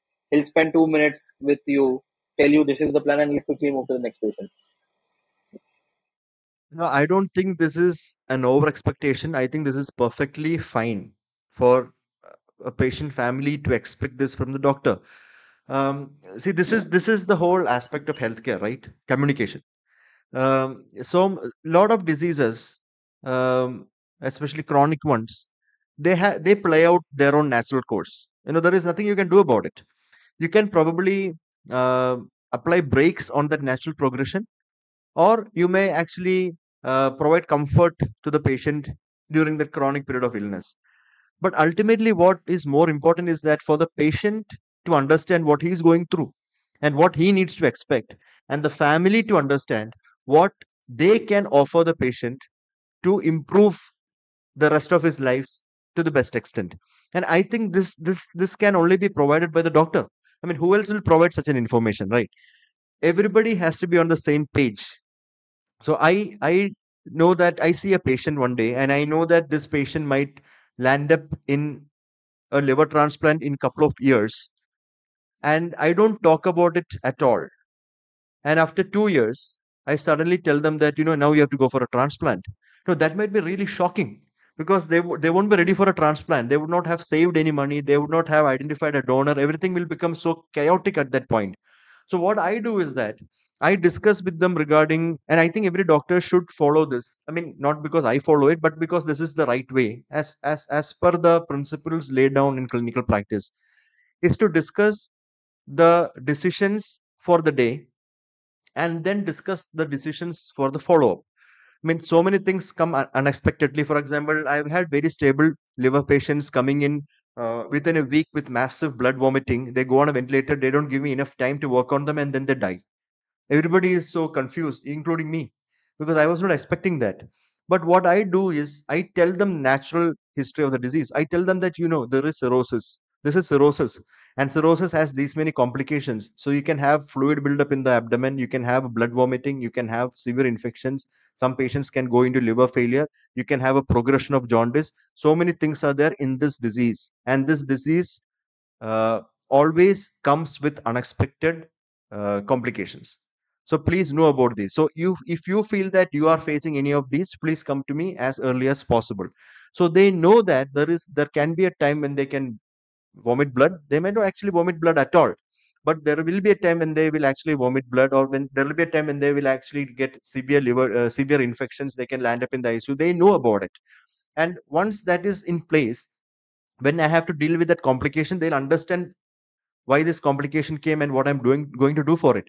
Similarly uh, when that particular patient is with that particular complication in the icu i have to tell them exactly what i'm going to do for that complication right? So i know that i know a patient who can actually improve with antibiotics for the infection and i know a patient who will not improve with antibiotics because he has a severe infection so all of this becomes part of simple basic humanism, basic communication, basic uh, uh, courtesy between the doctor and the patient. I don't think this has nothing to do with over expectations. This is what it is. Uh, Ultimately, clinical medicine and practice of medicine is all about people coming together and doing what's right by somebody who's really sick. And communication becomes the central part of it. The rest will play on its own. Yeah, absolutely. I mean, I hope more doctors adopt it. And what I'm seeing, Abby, is that young doctors are more sensitive to it. And uh, you know, I think I think uh, I could be wrong, but uh, I mean, the the little older older generation believes in this old philosophy of uh, giving them hope and saying that we are doing everything in but don't worry about it, we are doing fine. The kind of this kind of setup. But the young ones are more they take into consideration multiple factors and then they they are trying to give you a very very transparent picture. Have you felt that as well? Um, I mean, I'm not very sure about that because uh, I I see a lot of. I mean, I I'm, I may be biased here, but a lot of uh, young uh, gastroenterologists uh, or young uh, young specialists that I see, um, they are easily, uh, you know, they easily let go. You know, there, there's a oh difference between letting go and letting go easily. So, for example, when I uh, see a patient with uh, severe alcohol associated hepatitis, I give them the first line treatment um, no response. Second line treatment, no response. Third line treatment, non response. And the last line is to go for a transplant. But practically or log- or practically or uh, no logically for the uh, family, a transplant is out of the question. So what next? As per the guidelines, uh, I can just let go because the guidelines say that he needs a transplant, and without a transplant, he's going to die. And uh, I can easily let go because there is nothing more that I can offer. But I do uh, stool transplants for such patients because now there is upcoming evidence and research from my own group. Uh, a lot of published data saying that uh, changing the gut microbiota or the intestinal bacteria can actually improve the life quality and improve increase life of patients with severe alcoholic liver disease who are not candidates or who did not respond to any of the previous lines of treatment. So in that sense, what I'll do is I'll I'll try and put that patient on stool transplant and I'll see if he'll benefit or not. So that way, I'm not letting go. But if the stool transplant does not work out, because it's anyway a salvage option, a therapeutic, uh, an experimental treatment option, if it does not work out, then I have to make, uh, you know, I have to uh, first, uh, you know, make myself understand that you know this patient is going to die because you have tried everything. But what, what that that particular decision came after I did everything from my side. But I think a lot of young uh, specialists that I meet with now, they are very very uh, casual towards the whole uh, attitude of uh, when to let go and when to hold on. So in that sense, I feel that we have to strike a balance where you give your hundred percent, but then you make sure that your hundred percent did not work out, or you know that it is not going to work out, even if you give the hundred percent, and then you decide that you know it's time to let go. So I think the older generation is too empathetic or too much invested into the aspect that medical care can salvage and the young and there is another spectrum where they say that you know whatever you do this is what is going to happen and there's nothing we can do more so let's just relax and deal with it you know i think we have to strike a balance between both and that is what actually helps the patient Yeah. Uh, and, Abby, do you also think there is uh, there is a lot of ageism in Indian healthcare where if an elderly senior patient is there, then people there is often you know, and both of us can be limited with our experiences, but I mean this is uh, this is i think that i have started to witness where somebody who is let's say 80 85 plus would come in uh, and uh, doctors would be not as aggressive and they would they would often use these phrases that see anyway he is so old. Let's see we are trying our best. Uh, they would they would they would know not go all in to save uh, that particular patient. Uh, do you do you also think that? I mean but to tell you frankly openly i was also like that at some point you know where i would get an 85 year old cirrhosis patient with fluid in the abdomen And we know from scientific publications that if somebody develops ascites, which is fluid in the abdomen, the average uh, life expectancy would be somewhere around, I mean, the average survival would be somewhere around uh, two years. It's that short. And I would say an 85 year old and say that, oh, you know, this guy is actually survived for 85 years. I'm already seeing 30 year old and 28 year olds dying.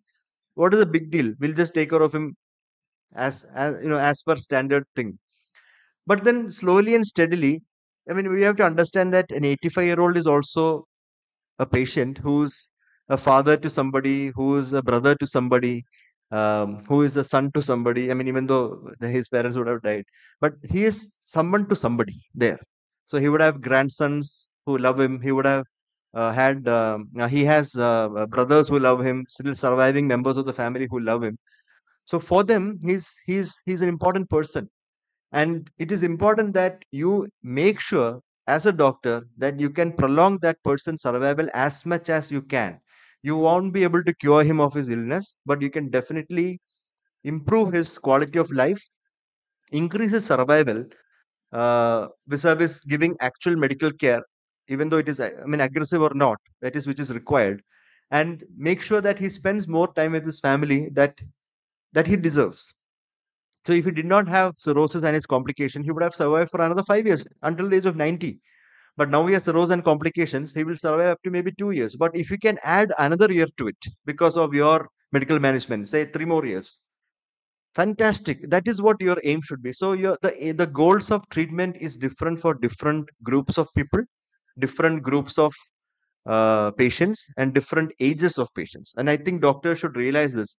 So you don't treat everybody saying that you know uh, this man is old, that person is young, so let's concentrate more on that, and let's concentrate less on this. That is not real medicine. So this part of flawed thinking in clinical medicine, I have completely uh, shattered it threw it out of the window and i don't think about that anymore because for me every patient who comes in deserves uh, a quality of life and deserves a life which is which if we can offer them much more than what the disease would uh, offer and i think this is most important I think uh, yeah, you're right, and uh, yeah, absolutely.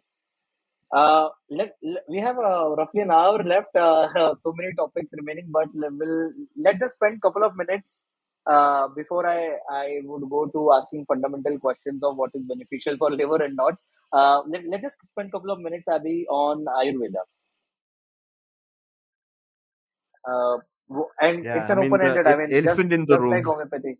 Yeah, it's the it's the elephant in the room. And my biggest concern with Ayurveda is because uh, uh, homeopathy is still considered. It does not have the interlinks of culture, and uh, it does not have the baggages of uh, uh, the nation, statehood, that uh, and uh, history and uh, etc. and religion to it. Uh, yeah, while Ayurveda is it, it just it just it just gets complicated and complicated. And the worst part is the legitimacy that it has been gotten in the past eight ten years. Uh, it is it just it just too much. And uh, where do we begin even to talk about ayurveda?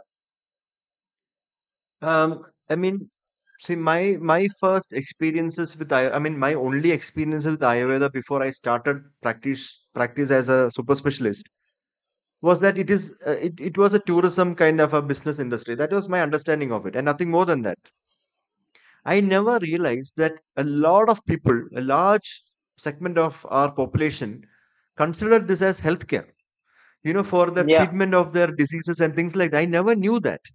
And uh, for me it was like wellness a massage here a shirodhara. It's so nice. It's very nice. I i've done all that. It's so nice.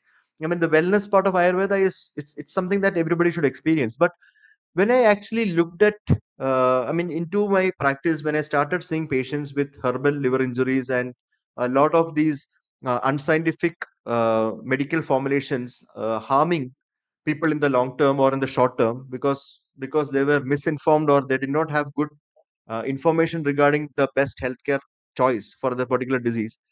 I started feeling that you know Ayurveda has to be uh, dealt with. First, I have to understand what it was before I, I tell people about it. So a lot of people say that, you know, you are a modern medicine doctor. What do you know about Ayurveda? I'm sure a lot of people on Twitter who uh, criticize me or comment against my post on Ayurveda does not even know one by hundredth of what I know about Ayurveda because I have been uh, in the company of Ayurveds. I have been, I have read through all the syllabus texts. It, I lost about nine months reading all of that, but it, it was it was worth it because I got to know a lot about what this practice was all about. And also, I deal with people who have directly uh, come to face harms of this practice also. So I have a lot of lot of baggage a lot of luggage that I did not ask for, but I carry it because uh, I can I can uh, make people understand better when I carry this baggage for them. So when I started off seeing uh, Ayurvedic herbal liver injury, it was just herbal liver injury, right? So there was nothing beyond it. So there is an untested product or a untested formulation or a contaminated, adulterated formulation that is causing harm. Simple, straightforward.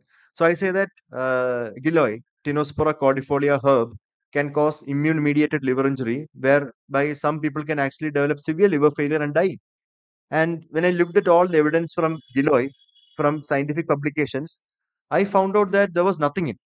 I mean, it was not actually useful for anything. We have a lot of uh, opinion, opinionated narrative reviews. We have a lot of cell, cell-based and tissue-based studies. You have a lot of computational studies. You, you don't have any good quality human studies to prove that this is useful for anything, this herb. So tell that to people. So that is what I did. So I said that giloy is not useful. It is very harmful, and uh, it is used in a lot of Ayurvedic products. Please don't use that. Don't go for giloy and things like that. Bang came all the responses, which has nothing to do with giloy. So it came as Hindu phobia. It came as Christian missionary. It came as you are a rice bag. It came as you are a Western colonial mind.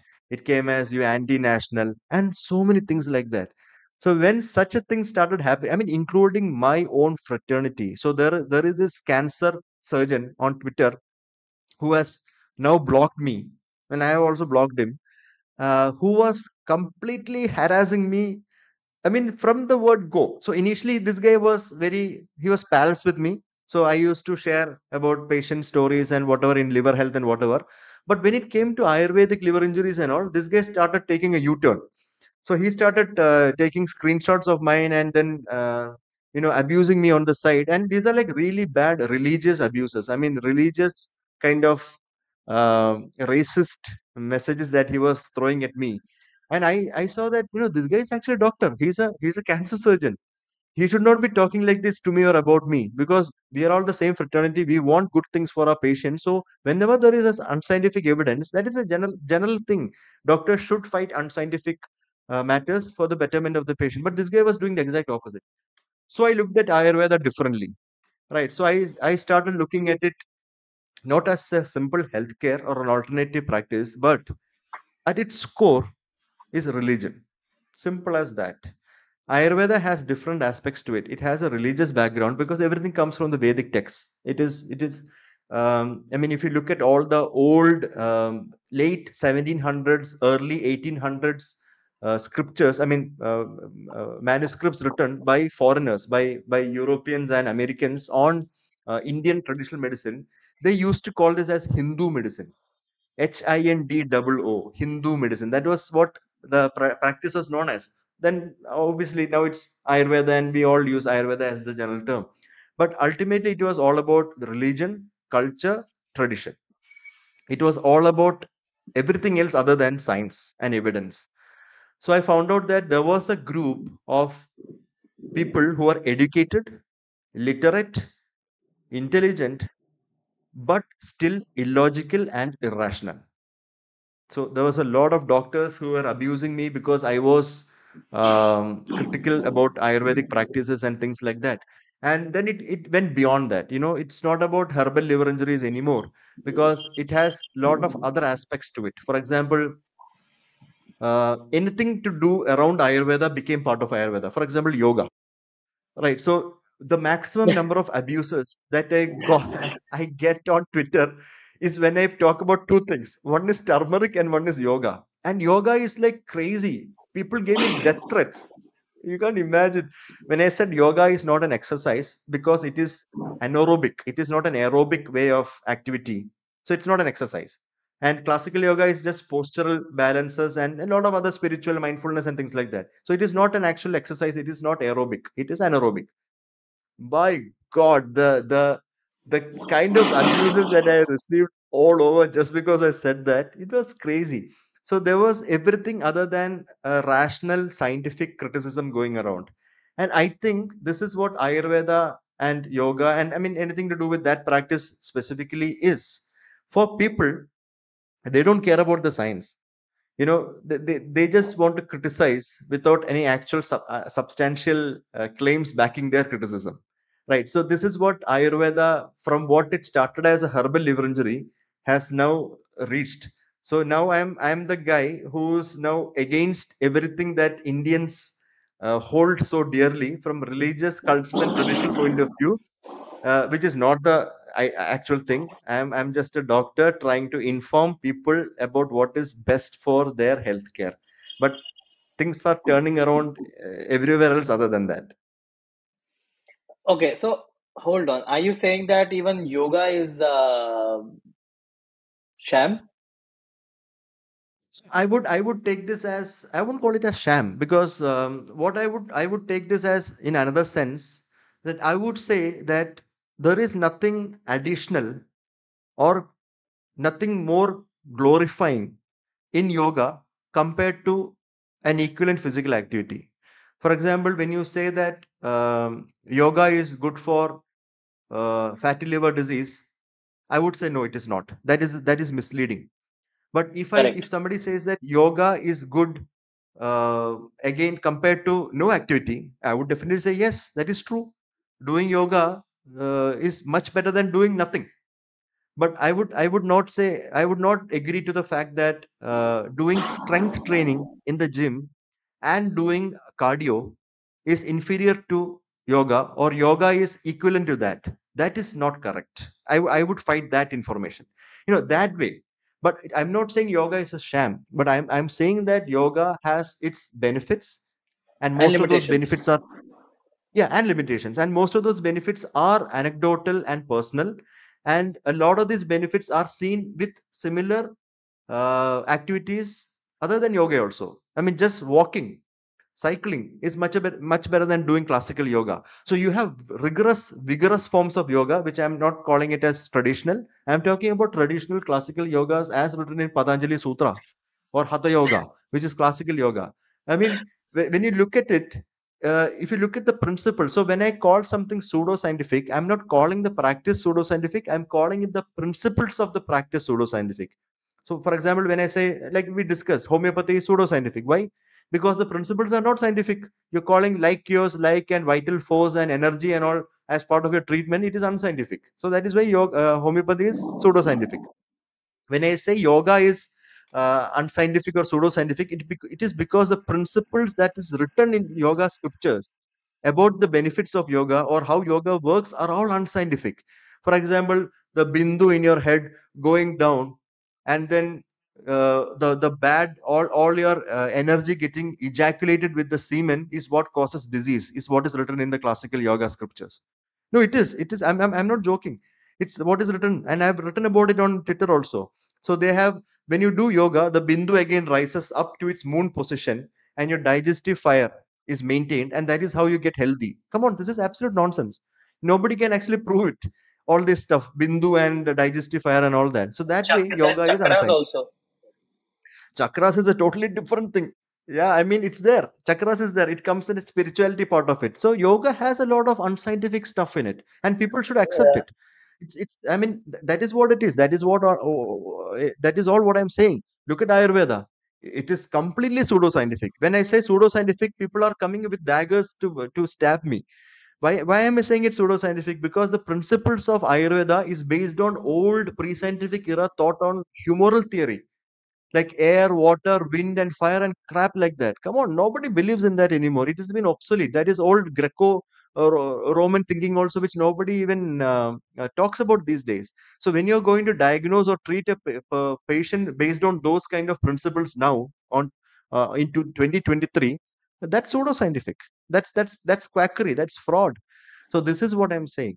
So, when if people can understand from a logical and rational point of view about what points are being raised on that topic, I think a lot of this hate and harassment will actually die down. But people don't want to do that. They just love criticizing and making things chaotic.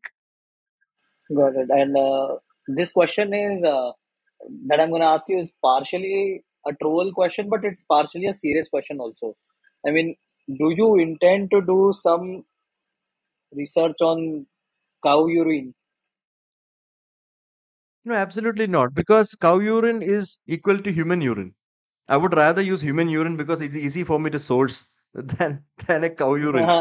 because uh, uh, yeah i mean we should look at uh, resources also right so ba- basically the whole aspect of cow urine also i mean look at it it's it's all about uh, everything about everything other than science it's it's got a lot of religious um, sympathies to it it has got a lot of cultural emotions at play a lot of traditionality because if you look at the scriptures uh, from i mean ayurvedic classical texts as written in charaka samhita and all that you can see that a lot of treatments did use cow urine as part of mixtures and, and as part of preparation. So it all amounts to what was uh, written in the scriptures, the the the Vedic aspects of how those treatments came into being, how those observations were uh, thought to be useful at that time. So when somebody says that cow urine is actually unscientific, pseudoscientific, it's directly uh, for some people it is directly implicating that their religious beliefs are wrong right? So it, it, it becomes everything other than scientific uh, discussion. So this is why i, I think uh, there is no actual hypothesis for us to actually um, study cow urine in the first place. So why, why do you want to study that? So I, I would never do such a research because there is nothing no shred of evidence from a hypothetical point of view to show that doing the study will give us some benefit in some particular condition. There is nothing like that. So if you have nothing to start with, why waste all the resources? Hmm, makes sense. And, and any recent Ayurvedic uh, medicine slash drug that you have encountered, which have been very taken you by surprise? Yes. So um, I mean, I, I did tweet about this, but we are now preparing a, a large series of patients who have developed severe liver injury due to ashwagandha. So Oh, ashwagandha is like, yeah, ashwagandha is like the poster boy of Ayurveda. You know, now that we have brought down Giloy from the pedestal, ashwagandha has taken uh, the pedestal now. So ashwagandha, it's it's not just Ayurveda, but there is a lot of there are a lot of dietary supplements in the West, especially in the US markets, that contain ashwagandha, which is promoted for a lot of things. For example, sexual health in men and women, increasing testosterone in men, boosting immunity, uh, as as something that would increase exercise tolerance, build muscle mass, you know, so many things. So ashwagandha is yeah. marketed for a lot of things, and it has a lot of um, scriptural backing.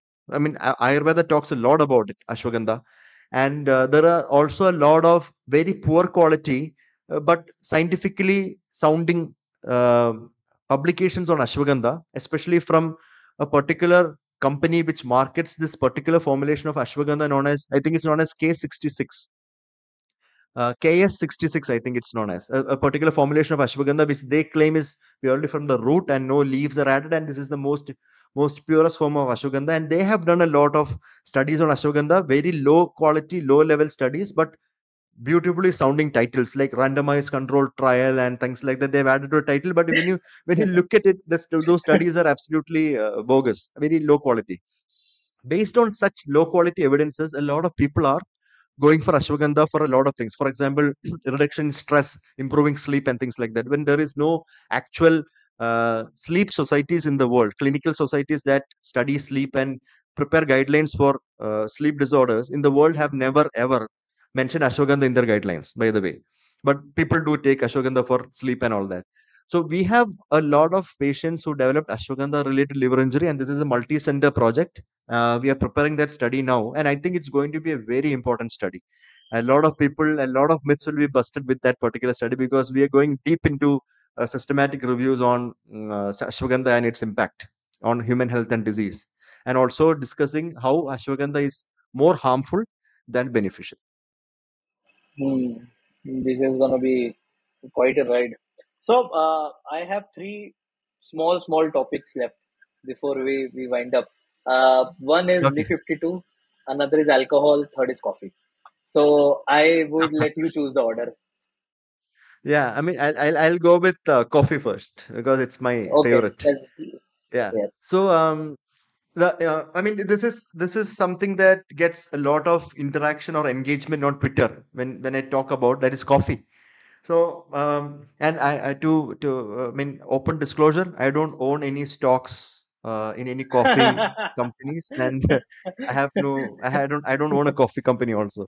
So Yeah. uh, basically, uh, uh, if when you look by look at the diet aspect or nutritional aspect, I think coffee is one of the most highly studied uh, dietary uh, component with regards to human health and disease management. Um, and from specific liver point per se, I think there are a lot of very good quality observational data, systematic reviews of those observational data, a lot of prospectively uh, performed observational trials on large patients over decades, systematic reviews and meta analysis of those trials, and something known as umbrella review. So, umbrella review is basically whole analysis or whole study of large systematic reviews and meta analysis, which is like topmost level of uh, data that we can gather from a particular intervention on a particular intervention. So such studies have shown that uh, black coffee, caffeinated or decaffeinated, without sugar, up to three cups a day minimum, you need three cups, is very helpful and beneficial for improving liver related uh, aspects. For example, it reduces the risk of somebody developing cirrhosis. It reduces the chances of somebody with chronic liver disease developing liver cancer. It reduces the chances of somebody with fatty liver progressing to a severe form of fatty liver. It reduces liver fat content. It helps improve um, clinical outcomes in patients with cirrhosis. For example, complications related to cirrhosis. If patient is on, if the person is on more than three cups of black coffee without sugar and without milk uh, per day for over uh, many weeks to many months, that actually has a positive impact.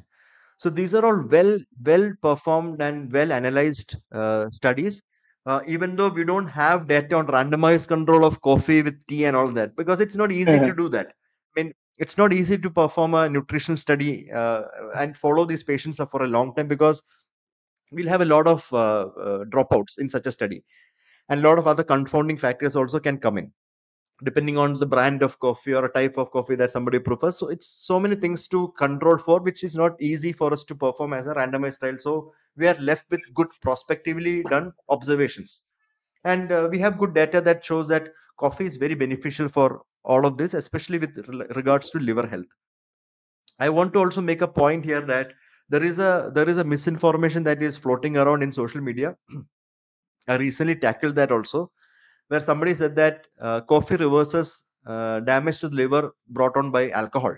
This is wrong. Which which implies that if you if you are drinking alcohol and you want to protect your liver, drink coffee along with it. This is completely wrong.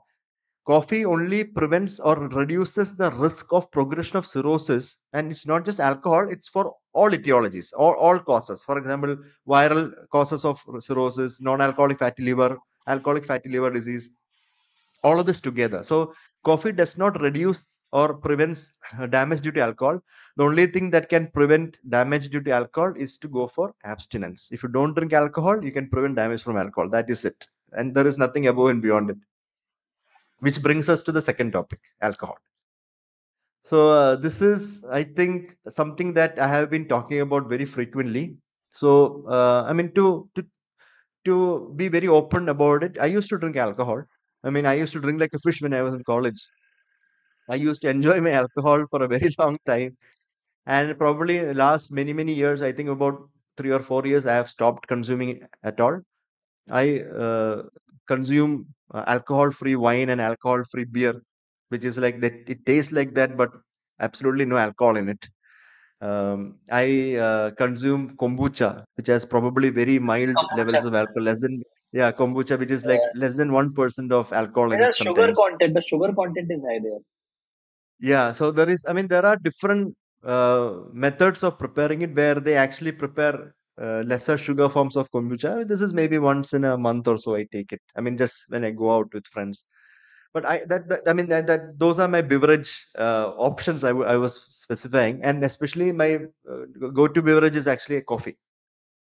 So alcohol has a huge um, impact on what uh, I see in a day-to-day basis because I see a, a spectrum of alcohol that many people don't see. Uh, even other doctors don't see. Uh, I, I think psychiatrists do see a large spectrum of alcohol use disorders and uh, you know people who are in addiction. But I see another aspect where uh, I write about um, on an average three to four death summaries per week because of people dying of alcohol. That's a huge number. So when I look at it per month, I, I write about 12 to 14 death summaries of people who have died because of alcohol. And most of these patients, people are um, between the ages of 35 and 45, very productive age, and they're dying of alcohol use. And it's very disheartening because when somebody says that, uh, you know, occasional alcohol use is fine, somebody will ask me, uh, I'm, can I take one drink a year? or one drink a month. You know, it, it sounds silly, but the problem is that there is no amount of alcohol that is safe. single exposure to alcohol in a woman, single exposure, I'm not talking about continued use, just a single exposure to alcohol in a woman drastically increases the chances of developing breast cancer. So that's that's that's what alcohol is. A single exposure, just like uh, lead. So WHO says that there is no safe level of lead. So the heavy metal lead exposure impacts human health negatively with a single exposure.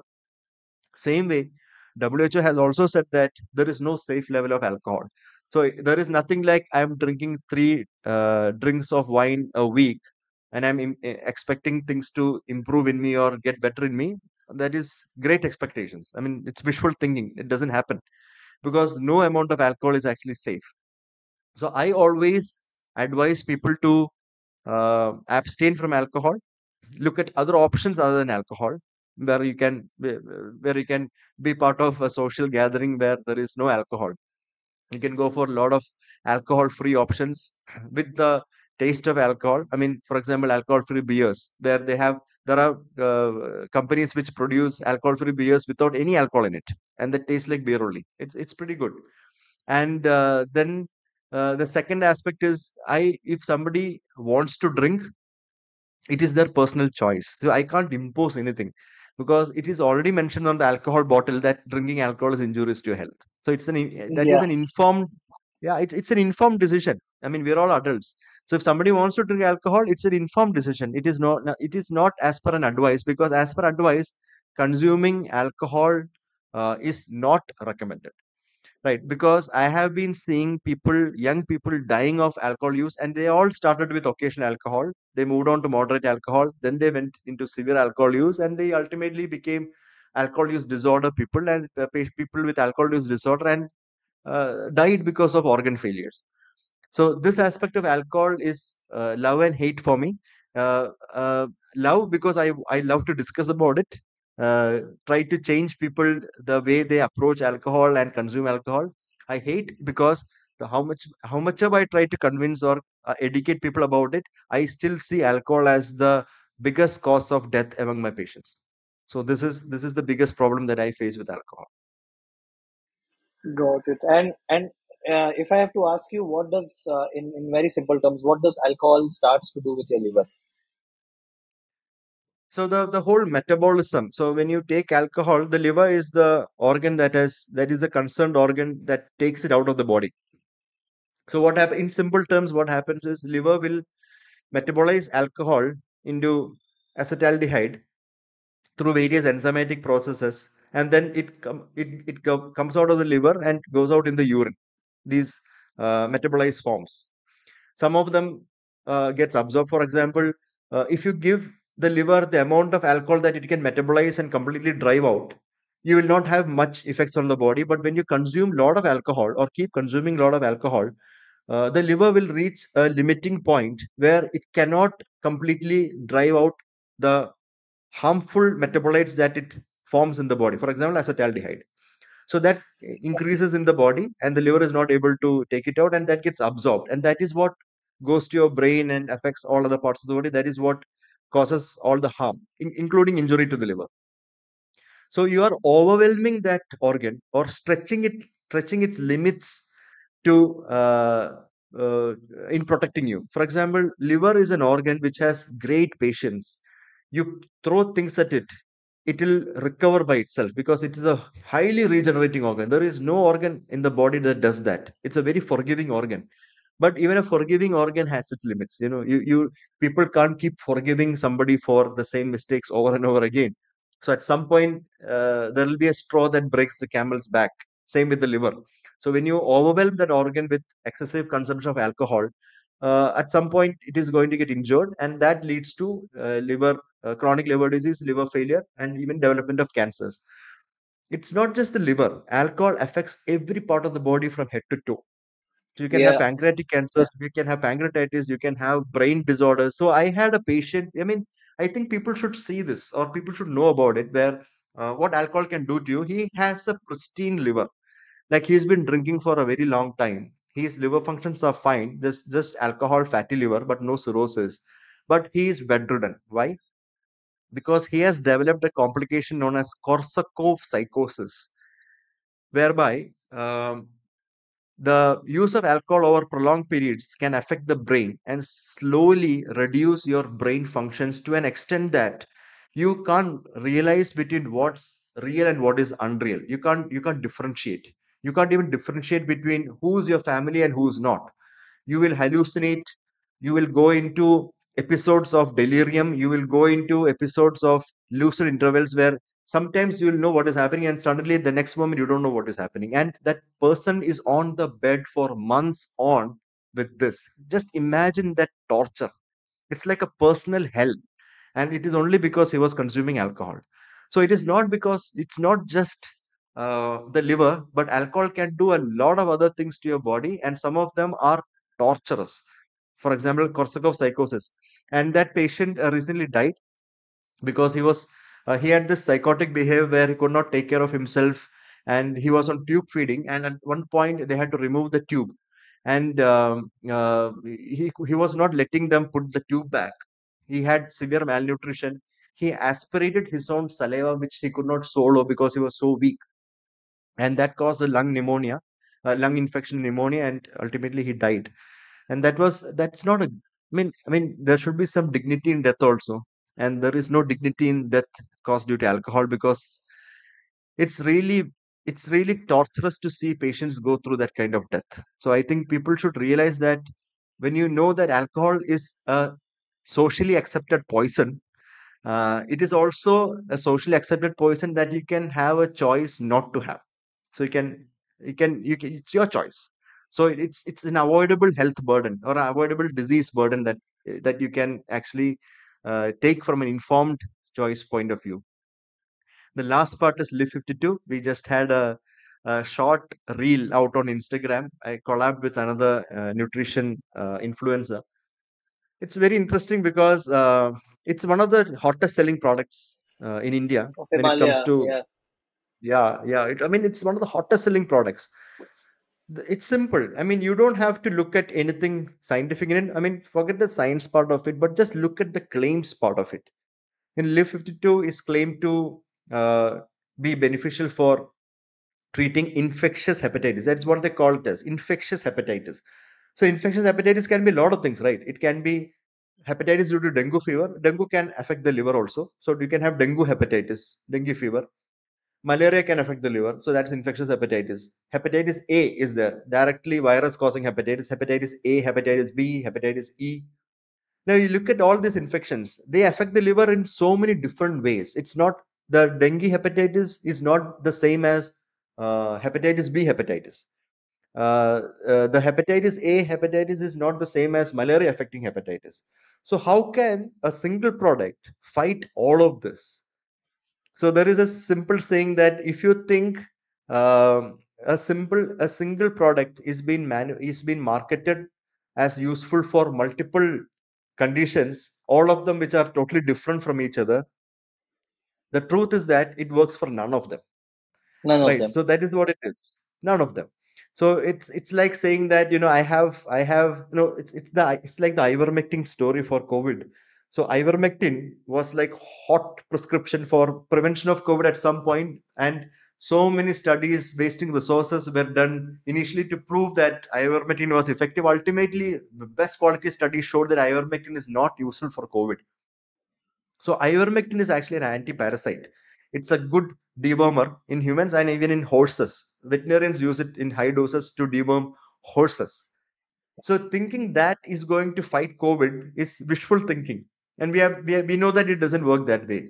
Same way, ivermectin is an anti-parasite. It will remain an anti-parasite.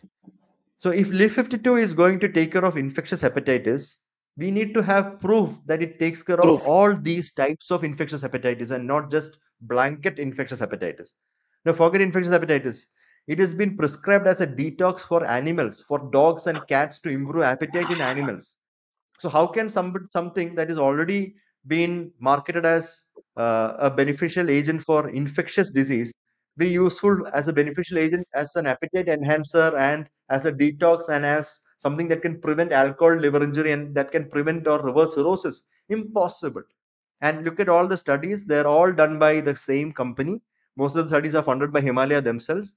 even the meta-analysis which is published in a dubious journal which is up on only himalayas website and no other, no other place is funded by is done by employees of himalaya and not by any independent scientific groups. Complete absolute hogwash smoke and mirrors kind of uh, marketing. And anybody who has some uh, logical sense some rationality will understand that this is a product of beautiful marketing and nothing to do with actual science behind it. So whoever is taking himalaya i'm very sorry to say that these people have been beautifully deceiving you very good deceptive tactics but i should give give a double thumbs up to the way they have marketed that product because even doctors have fell prey for it. So many modern medicine doctors prescribe himalaya for jaundice and all that. First thing is that jaundice is not a disease it is a feature of a disease. Somebody can have jaundice because of liver disease somebody can have jaundice because of a non-liver problem also. Jaundice can come from the blood also because of hemolytic anemias and all people can develop jaundice. Nothing to do with the liver. So when you're saying that himalaya can cure jaundice that itself is a wrong thing because jaundice is a symptom and not a disease. So such simple things people can identify if they are uh, health literate and they can stay away from such mis- misinformation that can harm them because many studies have shown and the large quality studies have shown that himalaya Liv 52 product can actually harm the liver and cause liver failure. So this part this was done decades before and people still don't know about it even now. That is the craziest part. It's already there and nobody talks about it. And we are now preparing a large series of patients where himalaya Liv 52 was used to treat their liver disease or for other things and they have developed severe liver injury and liver failure and that publication is under under preparation and i hope that will come out in the, within the next six months or so after peer review it will be published in a good journal. So we are striving to do that. So this is all about himalaya that i want to say i mean Liv 52 about uh, i want to say. So when i say about Liv 52 people ask me about their other products right? Septilin and uh, uh, something to do with kidney stone i forgot cystone. Other products of himalaya everything is the same it's just marketing there there is nothing scientific to substantiate any claims that they make on these products and i think people should be well informed about this so that they can stay away and not harm themselves